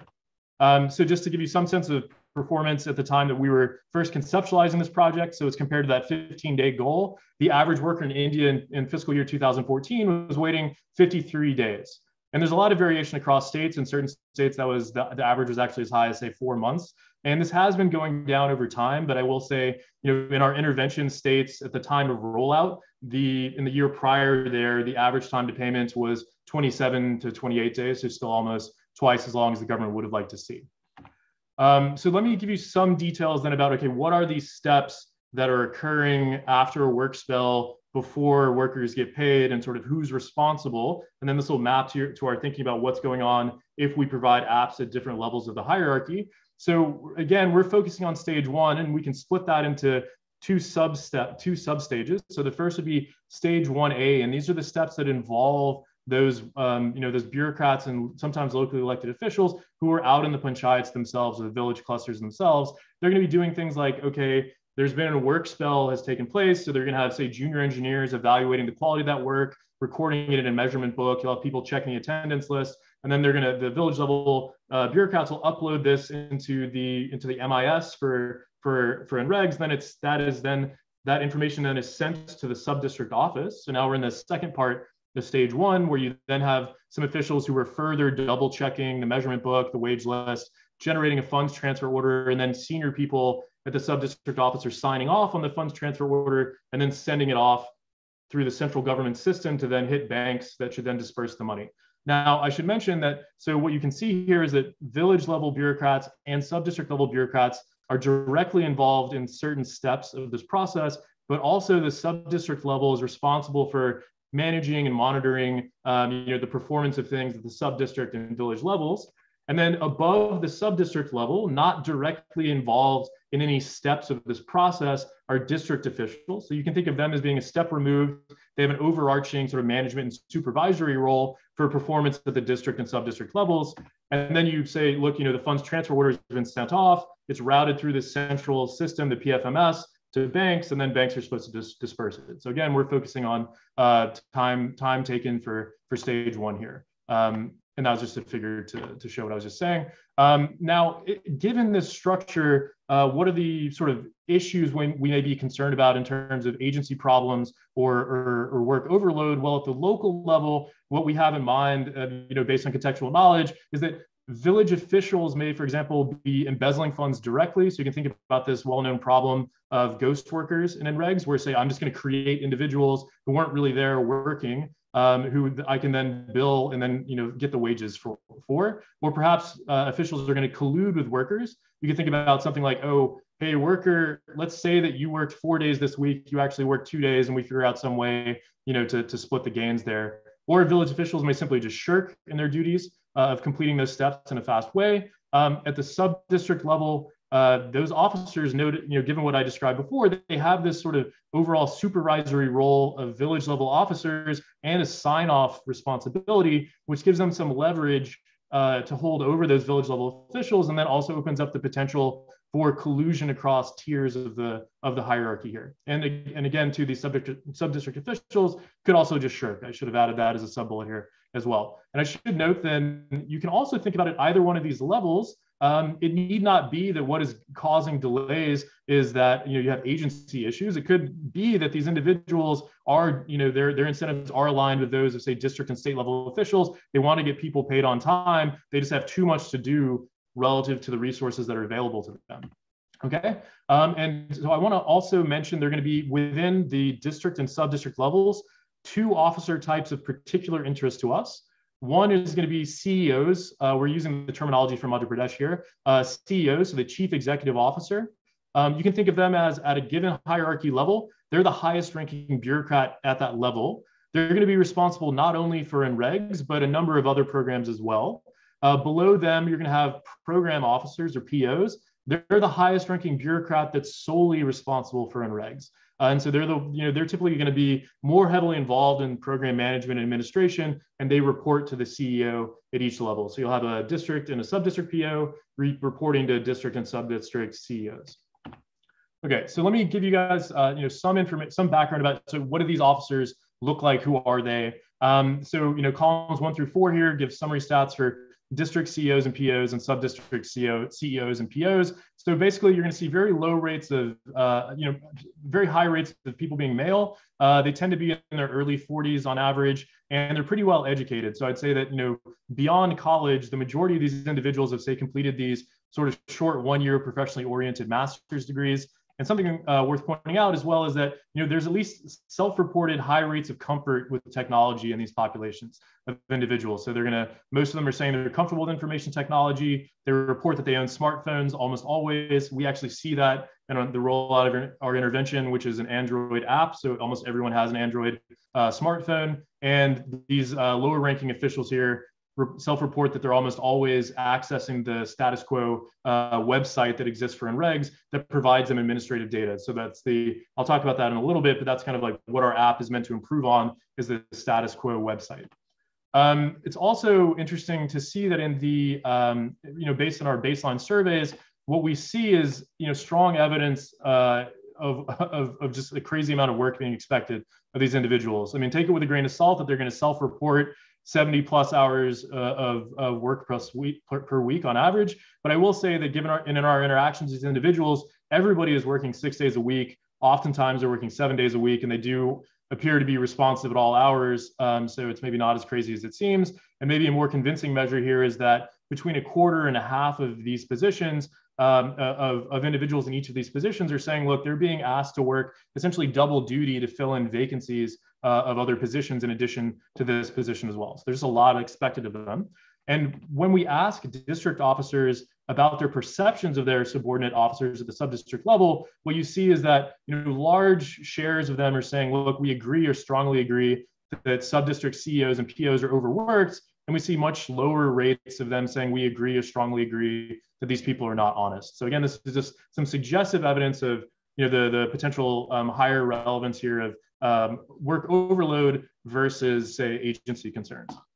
Um, and then what, one other thing you know I can point out here is we asked subdistrict officers to rank their challenges they face as implementers of, it, of, of, of regs, uh, eight, eight different categories. And the highest average rank was given to IT infrastructure issues, which you can think of as being like in, inconsistent internet and power. So you can think if you have problems with that, it's only going to add to the difficulty of what you need to do.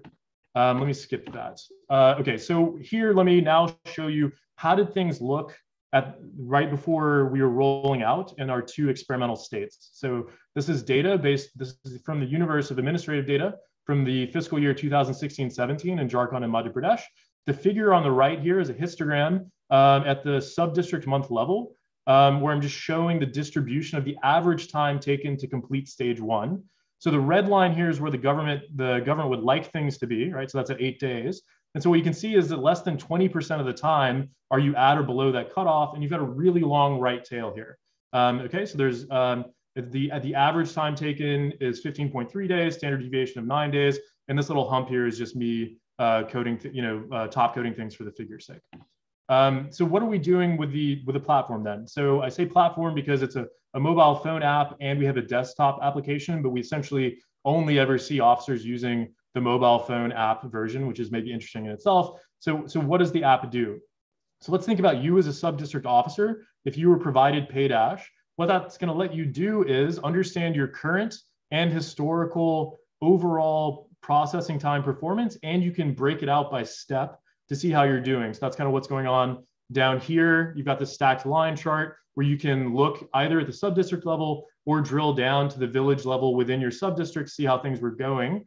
You can also gather, see very easily information about things that are currently delayed. So let's say that I'm a block official here on the left. I'm working in my block is Ragagar. I'm going to say, oh, look, I've got 611 currently delayed musters. Musters, we're just saying that's a, you know, think of that as that's the package of things associated with a project work spell that are sort of moving through uh, from to be verified and then getting people paid. You've got 106 cards requiring your attention. What does that mean? It means, ah, I have 106 subordinates at the village level who are associated with at least one delayed muster. So I can go see what's that individual's name, how many delayed musters are they associated with, you know, where is that delay, what is the ID number for the muster, what step is it stuck at, and I also have this button here where I can click that and directly send you a WhatsApp message and copy paste this info or call you directly without needing to say go look up what your phone number is. Um, now, the district version of this app is going to let officers look at the district or sub-district level. They can't drill all the way down to the village level. And both versions of the app are going to be offline compatible. So say if you're going out to the field um, and you don't have internet or uh, things like that, then you can still use the app and go through things. It's just um, it'll be have the information from the last time that the app auto updated when you had internet uh, availability. And it does that once a day automatically, or you can make it do more often, which is potentially helpful as well, say, versus your status quo of being on a desktop in your office where power might be going out. And so what was the status quo is, you know, it's important to point out that Paydash isn't just taking information that these individuals never had access to. There's a set of web pages on the government um, MIS website uh, for, for NREGs where what you have to deal with is this really unwieldy set of uh, spreadsheets that you that are on individual web pages. So basically think of if I want to gather information I have to click on a minimum of one web page per village by step. Then it's useful to keep in mind that there are five separate steps in stage one, uh, and on average, 48 villages per subdistrict in our in our sample. So that's just a lot to deal with. And then you have to export that data and do additional calculations to put things in the format similar to what we're doing in Paydash. And I should say that when we were designing Paydash, we didn't just drop in from out of nowhere and just say, oh, here's how we think things should be. This was based on a lot of conversation uh, with officials at different levels too to try to make it fit their needs. Okay, so what is our uh, experimental design? So we were working, like I said before, at scale across Madhya Pradesh and Jharkhand. So, you know, absent one, one pilot district in each state, we have 73 districts with 561 sub-districts and four treatment arms. So we've got pure control, no one's receiving paydash. District level paydash treatment arm where district CEOs and POs are receiving paydash. Our sub-district paydash treatment arm where in those districts, all sub-district CEOs and POs are receiving sub-district pay dash, and then our treatment arm where we have a combination pay dash. So both district and sub-district level CEOs and POs are receiving their versions of pay dash. And we stratified uh, this randomization by uh, performance of whether you're in above or below median district in terms of payment time uh, defined based on you know, pre-intervention, the fiscal year 2015 and 16. Uh, we rolled out in early 2017 an MP, later in 2017 for Jharkhand, and the evaluation period ended in, in 2018 in August. Uh, that was because elections were uh, coming up in MP, and at that point, the election commission comes in, starts deputing officers and moving people around, et cetera, and also for logistical and budget budget reasons. Okay, so conceptually, again, just to, just to hit this very quickly, um, what how are we thinking about things here? We're saying, look, village stage delays may reflect local agency issues, whether that's shirking or you know time taken to organize fraud. Sub-district stage delays again may reflect shirking or you know time required for bargaining with frontline workers related to work to rent sharing. Or again, absent these agency concerns, it could just be that people are overloaded doing their best and it just takes them a long time to get things done given how much they're being asked to do. So why might Paydash then matter? Well, if we think about Paydash as managing to lower the cost of information acquisition for these mid and upper level managers, well then district paydash is going to if it, it may improve the supervision ability by district officers for a given level of effort leading to you know stronger performance incentives for subordinates and a speeding up of things now sub-district paydash whether the provision of that actually improves things is going to depend on whether we have these agency concerns at that level of the hierarchy. So think about if you have a shirking individual and you provide them the app and you're making it easier for them to gather information, you haven't changed their incentives at all maybe they won't use it you know perhaps they just won't use it in any beneficial way or if they're somehow involved in collusion it may actually harm things and slow things down. So if we put these together then sort of our predictions are that you know if you don't have agency concerns that are involving the sub-district level then either district or sub-district paydash may lower processing time and you may observe a substitute relationship. So if you think about if, if for example one way this could occur is say if I, a district official, am passing along useful information that I gather from the app to my subordinate at the sub-district level, well, if they now also have the app as well, you may have some redundancy and see a substitute relationship. Now, if these agency issues involving the sub-district level are, are, are an important constraint, then you can think of either it's only going to be when district paydash alone is provided, you may see benefits by you know the strengthening of performance incentives. And if you, like I said before, if you just give it to the sub-district level, maybe they're not really going to do anything with it or make, make things worse. But if you provide it to both the district and the sub-district level, you might observe complementarity, right? In the sense that, well, if I give sub-district paydash, maybe the people at that level are only going to use it in a helpful way when you've also heightened the ability for their superiors to monitor what they're doing. Okay, so let me, um, you know, now uh, I'll just skip, you know, we have a, a, variety of administrative data, you know, app usage data and, and baseline inline survey data. Uh, let me just show you usage. So here, um, you know, the dotted lines are district and sub-district POs, the solid lines are CEOs, uh, and this is all, you know, zero onward, so months post intervention rollout in each state. The gray shaded area is during the training periods. So you can think of, you know, this maybe being sort of mechanically high usage because during the training sessions that we were doing in person with officers, they had their apps open, et cetera. So when we look from month two onward for POs, things look relatively stable at about 20 minutes per month on average, CEOs are using the app very little, barely at all, which maybe makes sense if you think about if I, as a CEO, know that my PO has the app and they're the one that's really supposed to focus on, on NREGs more, um, it doesn't seem crazy. Uh, the, the point of this table, there's too much here, sorry, is to say it's not the case that usage of Paydash differs significantly at a given level of the hierarchy, depending on whether the other level has it. So we just don't, we don't see that.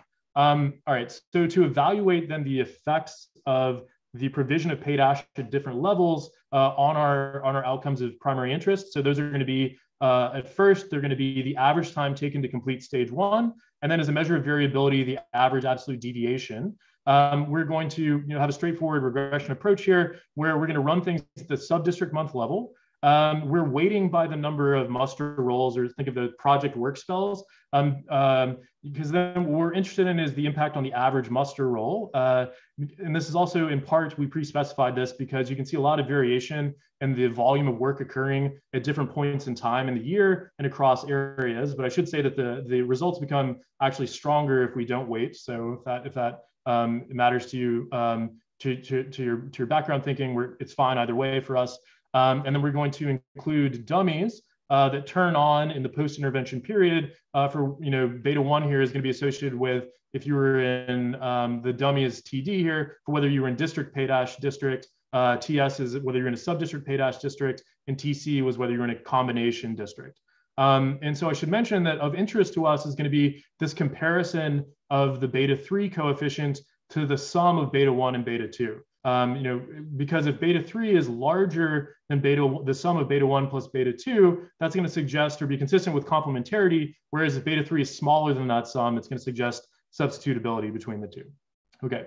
Um, all right, so let me now uh, you know, talk, talk about what we're finding. Um, so columns one and two, we're looking at, at outcome-wise at the average time taken at the subdistrict month level to complete stage one, um, and uh, columns three and four, the absolute um, uh, absolute deviation. So that's our measure of variability. Um, column one, we're pooling all the arms together as an any pay dash indicator, and we're going to see roughly a one day reduction in time to complete stage one. Um, if in column two, when we break that out by the different treatment arms, we're going to see you know, roughly the same size of effect. We can't reject the, the equality in any, any pairwise comparison there. And one thing that's interesting, you know, worth, worth noting is if we can look at the size of the coefficient beta 3 as compared to the sum of beta 1 and beta 2, we're going to see some evidence, uh, albeit not the strongest, but I'm going to come back to some heterogeneity analysis. We really see this jump out. Um, we see some evidence of uh, substitutability here. And again, we also see some weaker evidence of a reduction in variability. Again, when I come back to the heterogeneity analysis, we're going to see some much stronger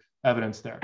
Um, you know, we can also do here is just plot the results of um, you know, an analogous event study specification. Uh, the vertical dotted line there is, you know, one month prior to rollout in each state.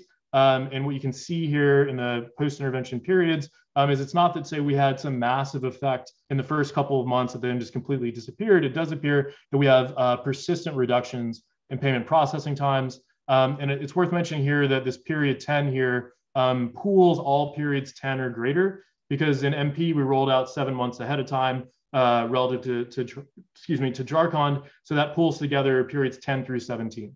Um, and it looks, if we just did, you know, MP only, you'd see persistent effects out longer there too.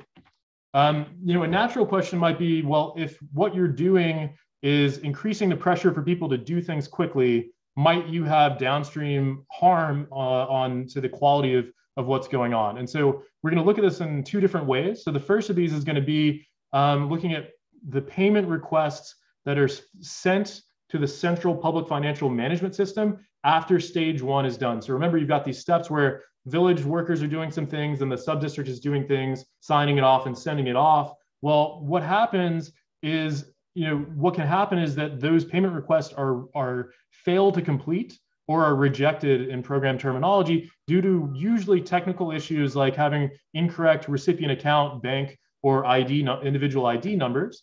And so if what we think that Paydash is doing is maybe making people less careful in gathering or verifying those details, rejection rates might go up, you know, reflecting worse quality. On the flip side, if people have more time to work on that sort of those sorts of issues, or it's just simpler for you to coordinate with your subordinates who are doing that, rejection rates might go down. So as our first quality proxy, we're going to look at uh, as an outcome the average share of worker payment requests that are rejected um, using the same specification as before. And what we're going to see is uh, you know, we don't see any evidence of, of harm to quality uh, and see maybe some, some impacts uh, of a, what you can interpret as an improvement in quality. So relative to a 4.4% rejection rate in the control, we're going to see a reduction in that of, of one percentage point. Now, you may find this quality measure a bit more interesting or compelling. Uh, we're going to look at the outcomes of social audit reports. So what do I mean by a social audit report? There is an external audit agency, uh, you know, that um, a government agency uh, that goes around to villages to assess the quality of local NREGs implementation. and they're there for a few weeks. And what they're going to do is generate these official reports, and they code up four main categories. So we're just going to use those four categories um, as our outcomes of interest, where we're going to code up indicator variables for whether any of these categories are noted in these reports. So they're going to be one financial deviation, so that'll map to poor record keeping, usually uh, financial misappropriations. So that'll really uh, map to what we're what we probably think of as related to corruption collusion, so bribes, ghost workers, et cetera, and then grievances raised by workers uh, and other process violations. And so what we're going to do is, um, given the timing of social audit reports, you know, very few of them uh, had occurred pre-intervention. So we're just going to look at the post-intervention level uh, and, and compare village level outcomes in the post period. And I should say in this time period, no village is being hit more than once. And in terms of coverage between our intervention uh, rollout and our end in August of 2018, we're getting um, you know roughly three quarters of villages in each subdistrict on average are in the audit sample, so that we've got pretty good coverage there. Uh, and just to you know just to, to show you, look, we've got no observable impacts on reported corruption or quality measures. We know regardless of which of the four categories we look at, we don't see see significant differences um, associated with provision of pay dash at the district, sub-district, or combination levels, um, which is perhaps heartening. Um, now, I should also mention if you were thinking about, well, you are putting this tool into place where you're going to have spillover effects on um, sort of other you know, management behaviors. Like I mentioned before, we would have loved, and I should mention in the interest of time, I dropped a slide that was showing that there's a variety of positive and negative performance incentives used in this setting, um, whether sort of uh, monetary or not monetary, like you know publicly publicly commending people, uh, docking pay, et cetera. Uh, we tried very hard to get data on that. It doesn't exist in any aggregated way. Um, so what we were able to do was think about transfers, uh, basically because we needed to keep track of where officers were uh, to make sure that the app provision kept up with who was where, so we could deactivate things if you move from treatment to a control area, et cetera. Uh, but what that allows us to do is to, at different cross points in time, uh, have measures of whether position changes have occurred or not. Um, so here what we're able to look at is say, look, has any transfer occurred within six months? Um, and we can look first by hierarchy level. We're going to see that you know we don't see any change in transfers for district officers, uh, which we might expect given that you know they're the highest level that's receiving the app in the first place. Um, what we do see is that when district pay dash is provided, so that when district officials receive pay dash, transfers of officers at the lower level, at the subdistrict level, are, uh, go down by 10 percentage points.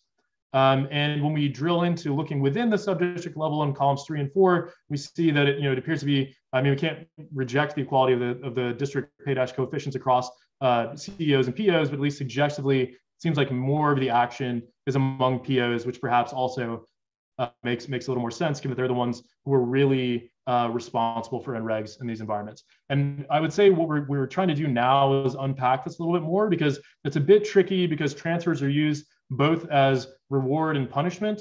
Um, you know, if you get moved to a place you really like versus one you dislike, uh, and the transfers of sub-district officials um, generally occur within districts. So we're still working on that. I would say that's we're trying to unpack that a little better. Okay, so let me um, you know show you where we're at in terms of better unpacking mechanisms as well. So I think that we've shown some evidence of substitutability in the provision of subdistrict and district pay dash, uh, which through the lens of our framework is going to suggest the relevance of work overload at the subdistrict level being more important than say agency concerns with subdistrict officers. But let's, you know, we're going to show you where we're at in terms of uh, kind of pushing beyond that as well. So first, um, and I'll show you why we're doing this, uh, we, we allow the impact of pay dash to differ by this you know, pre-intervention performance. So we're, you know, we're gonna interact things with dummies for whether you're in a high or low delayed district. You know, again, defined it from before the intervention. And this is just plotting the coefficients uh, from that regression where you can see here in the left panel, uh, you know, all the action is really in these high delayed, dis high delayed districts, whether it's district pay dash, sub-district pay dash, the combination, or if we pool things, um, this is really where the effects are concentrated. You're seeing, you know, effects quite close to zero uh, and not too noisily estimated in low delay areas as well. And so, you know, this table is just showing the, uh, the underlying regression results. So columns one and two are for time to complete stage one. Uh, now we see that the effect is about three day reduction on average. And we see much stronger evidence of reduction in variability as well, looking at ab the absolute deviation here in columns three and four. And I should also note that when we compare the coefficient on combination pay dash to the sum of district and, and sub-district only pay dash for high delay areas here, right, for both the average time to payment and the variability measure, we see strong evidence of substitutability. Now, if you were like, why are you cutting it by high and low delay? We can also then, you know, cut things, allow allow the impact to vary more flexibly. So here's just by sextile, uh, you know, nothing strange is going on. We see that looks like really the bottom bottom three sextiles here. So the places that had the worst performance pre-intervention are really where the action's occurring, and maybe a little bit of a hint of a slight slowing down uh, in the best performing area. Um, you know, that that's this is how things look.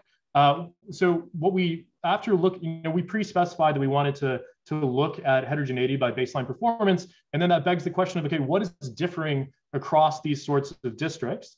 Uh, so one thing that we found um, uh, is that they differ importantly in the way that they're administratively structured. So what we can see if you compare columns one and two, and column three is the difference here, that the number of sub-districts is lower in high in districts that turn out to be high delay, and you have roughly twice the number of villages per sub-district, which then you can think of as really amping up the workload for those sub-district level officials, because they have, you know, now I've got 75 villages on average that I'm keeping an eye on rather than 37.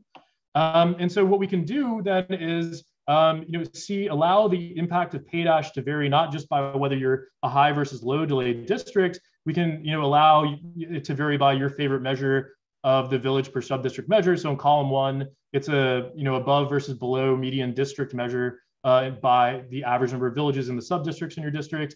In column two, it's just the average number of villages per sub-district in your district. In column three, it's the number of villages in each sub-district is what's being interacted. And what you can see is in each, uh, regardless of the form of that variable you choose, that PayDash has stronger effects in terms of reducing uh, payment processing times in areas that have higher numbers of villages per sub-district. Uh, but it's also not that once you include that interaction, the interaction with a high delay uh, an indicator uh, becomes ins insignificant. So there's more going on there. So I think that you know we're also uh, certainly still uh, you know trying to think about things uh, to better to better understand what, what else is differing in the high delay areas. Okay, um, so finally to, to wrap up as I get close to the cutoff time here, uh, it's perhaps worth highlighting that we, in our end-line surveys, um, we were only able to do this in one state, Madhya Pradesh. We had to do this over the phone due to COVID, but we had end-line surveys with district and sub-district POs where we asked them about their usage of PayDash uh, for those that were, uh, you know, in, uh, treated officials. And so what you can see here in panel B um, is that, you know, nearly two thirds of them or more are saying that they, how were they using information from PayDash?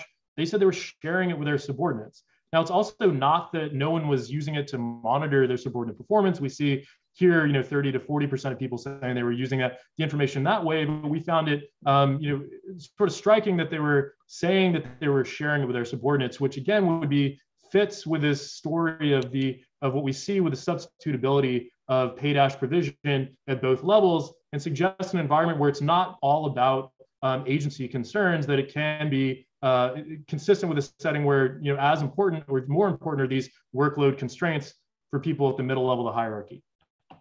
Okay, so just to, to wrap up, um, so, you know, with PayDash, we had a tool that plausibly lowers the cost of collecting information.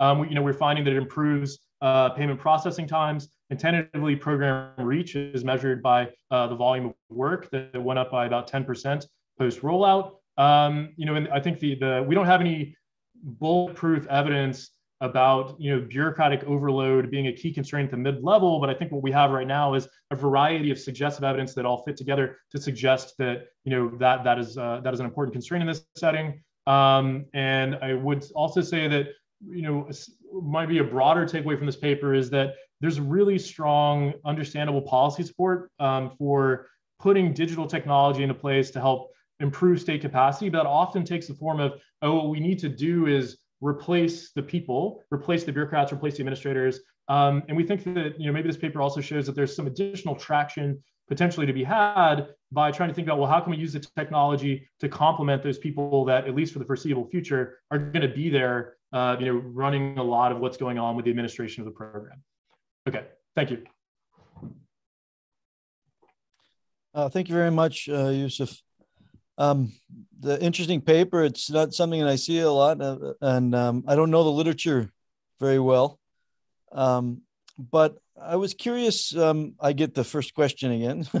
um, I was curious. What's the relationship with this paper and the work of like Karthik and Paul and, and co-authors on the NREGS payment system, and sort of uh, yeah, how they stand in relation to each other?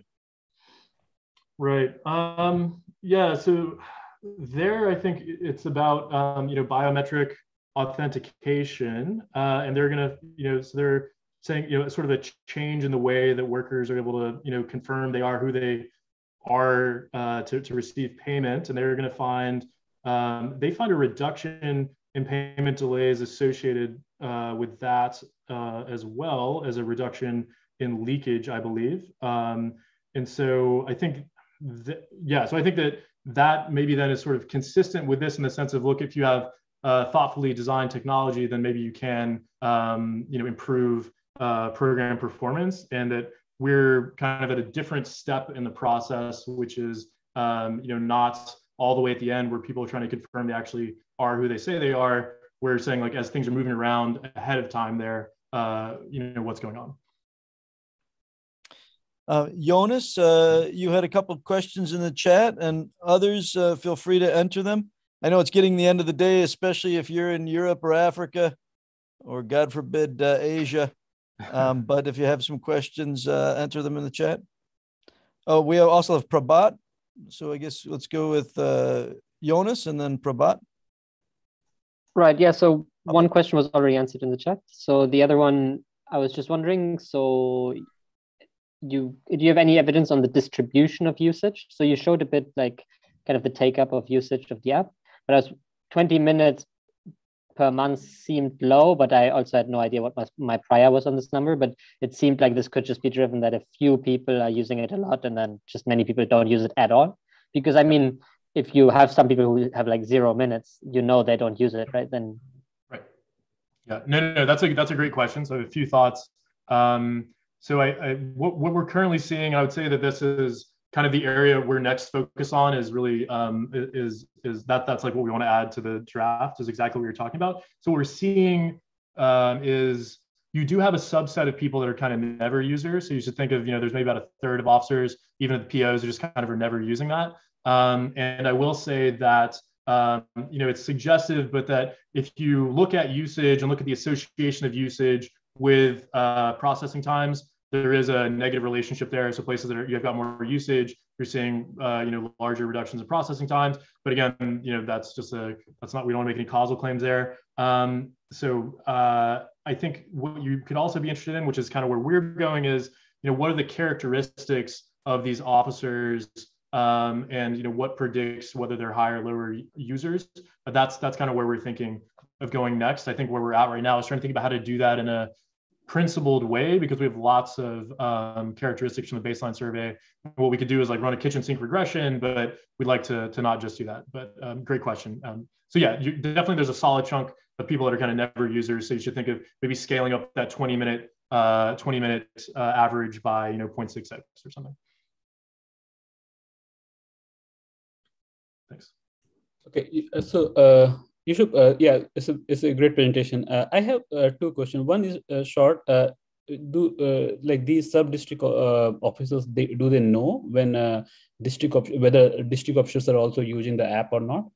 Because you know i mean that is something they will just like think about it. Like you know like if, they are using then we will have to comply. Or like did you ask them like do they know like they are using it or not? Like the like their, their their bosses also seeing is this app or not Yes, so I would say, okay, this is going to be, uh, and this, I promise this is true. It's a similar answer to before, where that's a great question. We have that information in the end-line survey, uh, and we're cleaning it up right now. So our sense is that there is at least a, a, a reasonable chunk of people are aware. Uh, so like across levels, we ask district uh, POs and sub-district POs, you know, whether they, you know, b- both in control and treatment about, oh, do you know, it the case that other district officers or block officers uh, in your area were using PayDash. And so it seems like there is some awareness. Um, and I would say too that I, I um, you know, we don't view that necessarily as a problem. You can just think of that as like kind of baked into, you know, what the treatment effect is. Uh, and that was partially also, I should mention, what, partially why we clustered